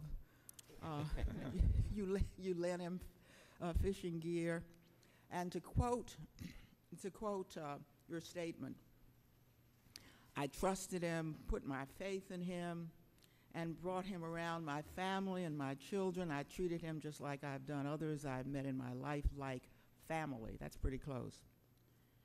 Uh, isn't it fair to say you were on quite good terms with Mr. Mac- uh, until you found out uh, what he told Senator Mitchell? Um, Congresswoman, uh, I I did not get him Bruce Springsteen tickets. Um, well, let us correct the record. um, and yes, um, I trusted Brian McNamee like I trusted every other trainer or. Well, uh, I quoted you on how you trusted Yes, him. I, I totally understand. But I asked you, therefore, don't your own statements show that you were on good terms with him until you found out what he told Senator Mitchell? I, I was on. I would say I was on uh, good terms with him. I we had a, a obviously what I've learned now. Um, Yeah, but you see, I'm not I'm talking sorry. about now. I'm, Now is after the Mitchell report. Um, of course, you and, and your legal team are raising uh, very serious questions about incidents in Mr. Uh, uh, past. Some of them were public, some of them were not. But I think they would cause reasonable people to lose trust and confidence in Mr. McNamee. For example, that he gave you without your knowledge what you later came to believe while he's still your trainer, uh, am, an amphetamine. Indeed, you described a confrontation, your word, that you had with him about this particular incident. Uh, you told us that he falsely claimed uh, that your own workout was his and how you bit your lip uh, and your tongue as you watched him do this. You you, you even say that a company associated with the McNamee act, used your, your image uh, in an advertisement without your consent. And finally, of course, perhaps uh, most personally, that Mr. McNamee injected your wife with HGH in your master bedroom without your knowledge. And you described here in prior testimony today some of the repercussions uh, she had from that injection. Now, you were well aware of all of these concerns before the Mitchell report was released. So I've got to ask you, sir, if Mr. McNamee did all of these things, and they appear not to be in doubt, uh, including injecting your wife with uh, HGH without your knowledge, why did you continue to employ him? Congresswoman, I, uh, the incident that, uh, that uh, he told me from the St. Pete uh, situation that he got let go from the Yankees, I was told a different story. I was told that he saved a woman's life. That, again, he took a hit for five other guys on that situation. I believe I worked. What about what he did to bet- you, Mr. Clemens? What about the incidents I have said and how right. serious that seriously they affected you? Why did you continue to employ him given what he had done to you? That's correct. And what I was, uh, uh, the point I was getting to, um, I believe there was a work stoppage for uh, two or three months. I believe Mr. Pettitte uh, uh, was playing again. Uh, we continued to play. I was in, still trying to make up my mind again. I'm not real. I'm not great at retirement. I've tried to retire three times. It's not working. Um, but uh, there was a work stoppage there. There was a work stoppage with him uh, until uh, after the incident with my wife, which he again um, earlier he said that, work that he stoppage, directed. excuse me, work stoppage, Where I didn't hire him as a trainer. I actually had a, a, a different trainer for two months that I worked with. and the reason for that was? Um, I was going in a different direction. Um, um, so And then you had him your, as your trainer again. I'm sorry. And then you had him as your trainer again. Uh, I did, and um, uh, I- yeah, I my was. question, Mr. Mr. Clemens, is why did you keep the man? It's very simple. Why did you keep the man? He did some pretty horrendous things, which are on the record, which you yourself said. Why did you keep him? And why only after the Mitchell report uh, did you your your relationship with him end? Well, Brian McNamee, again, uh, uh, we had a heated discussion. He apologized to me uh, on the situation with, with my wife. Uh, How about the other things? I'm, I'm a forgiving person. I don't, uh, like I said, I, I don't. When he told me that he was a doctor And He had a PhD. I had no reason to look behind that. I mean, he was employed by Major League Baseball. He ran an ad, uh, and and basically I let him have it about that. Told him about it that you cannot do that kind of stuff. Uh, I think that's when he said that he was going to sue my baseball attorney. And um, uh,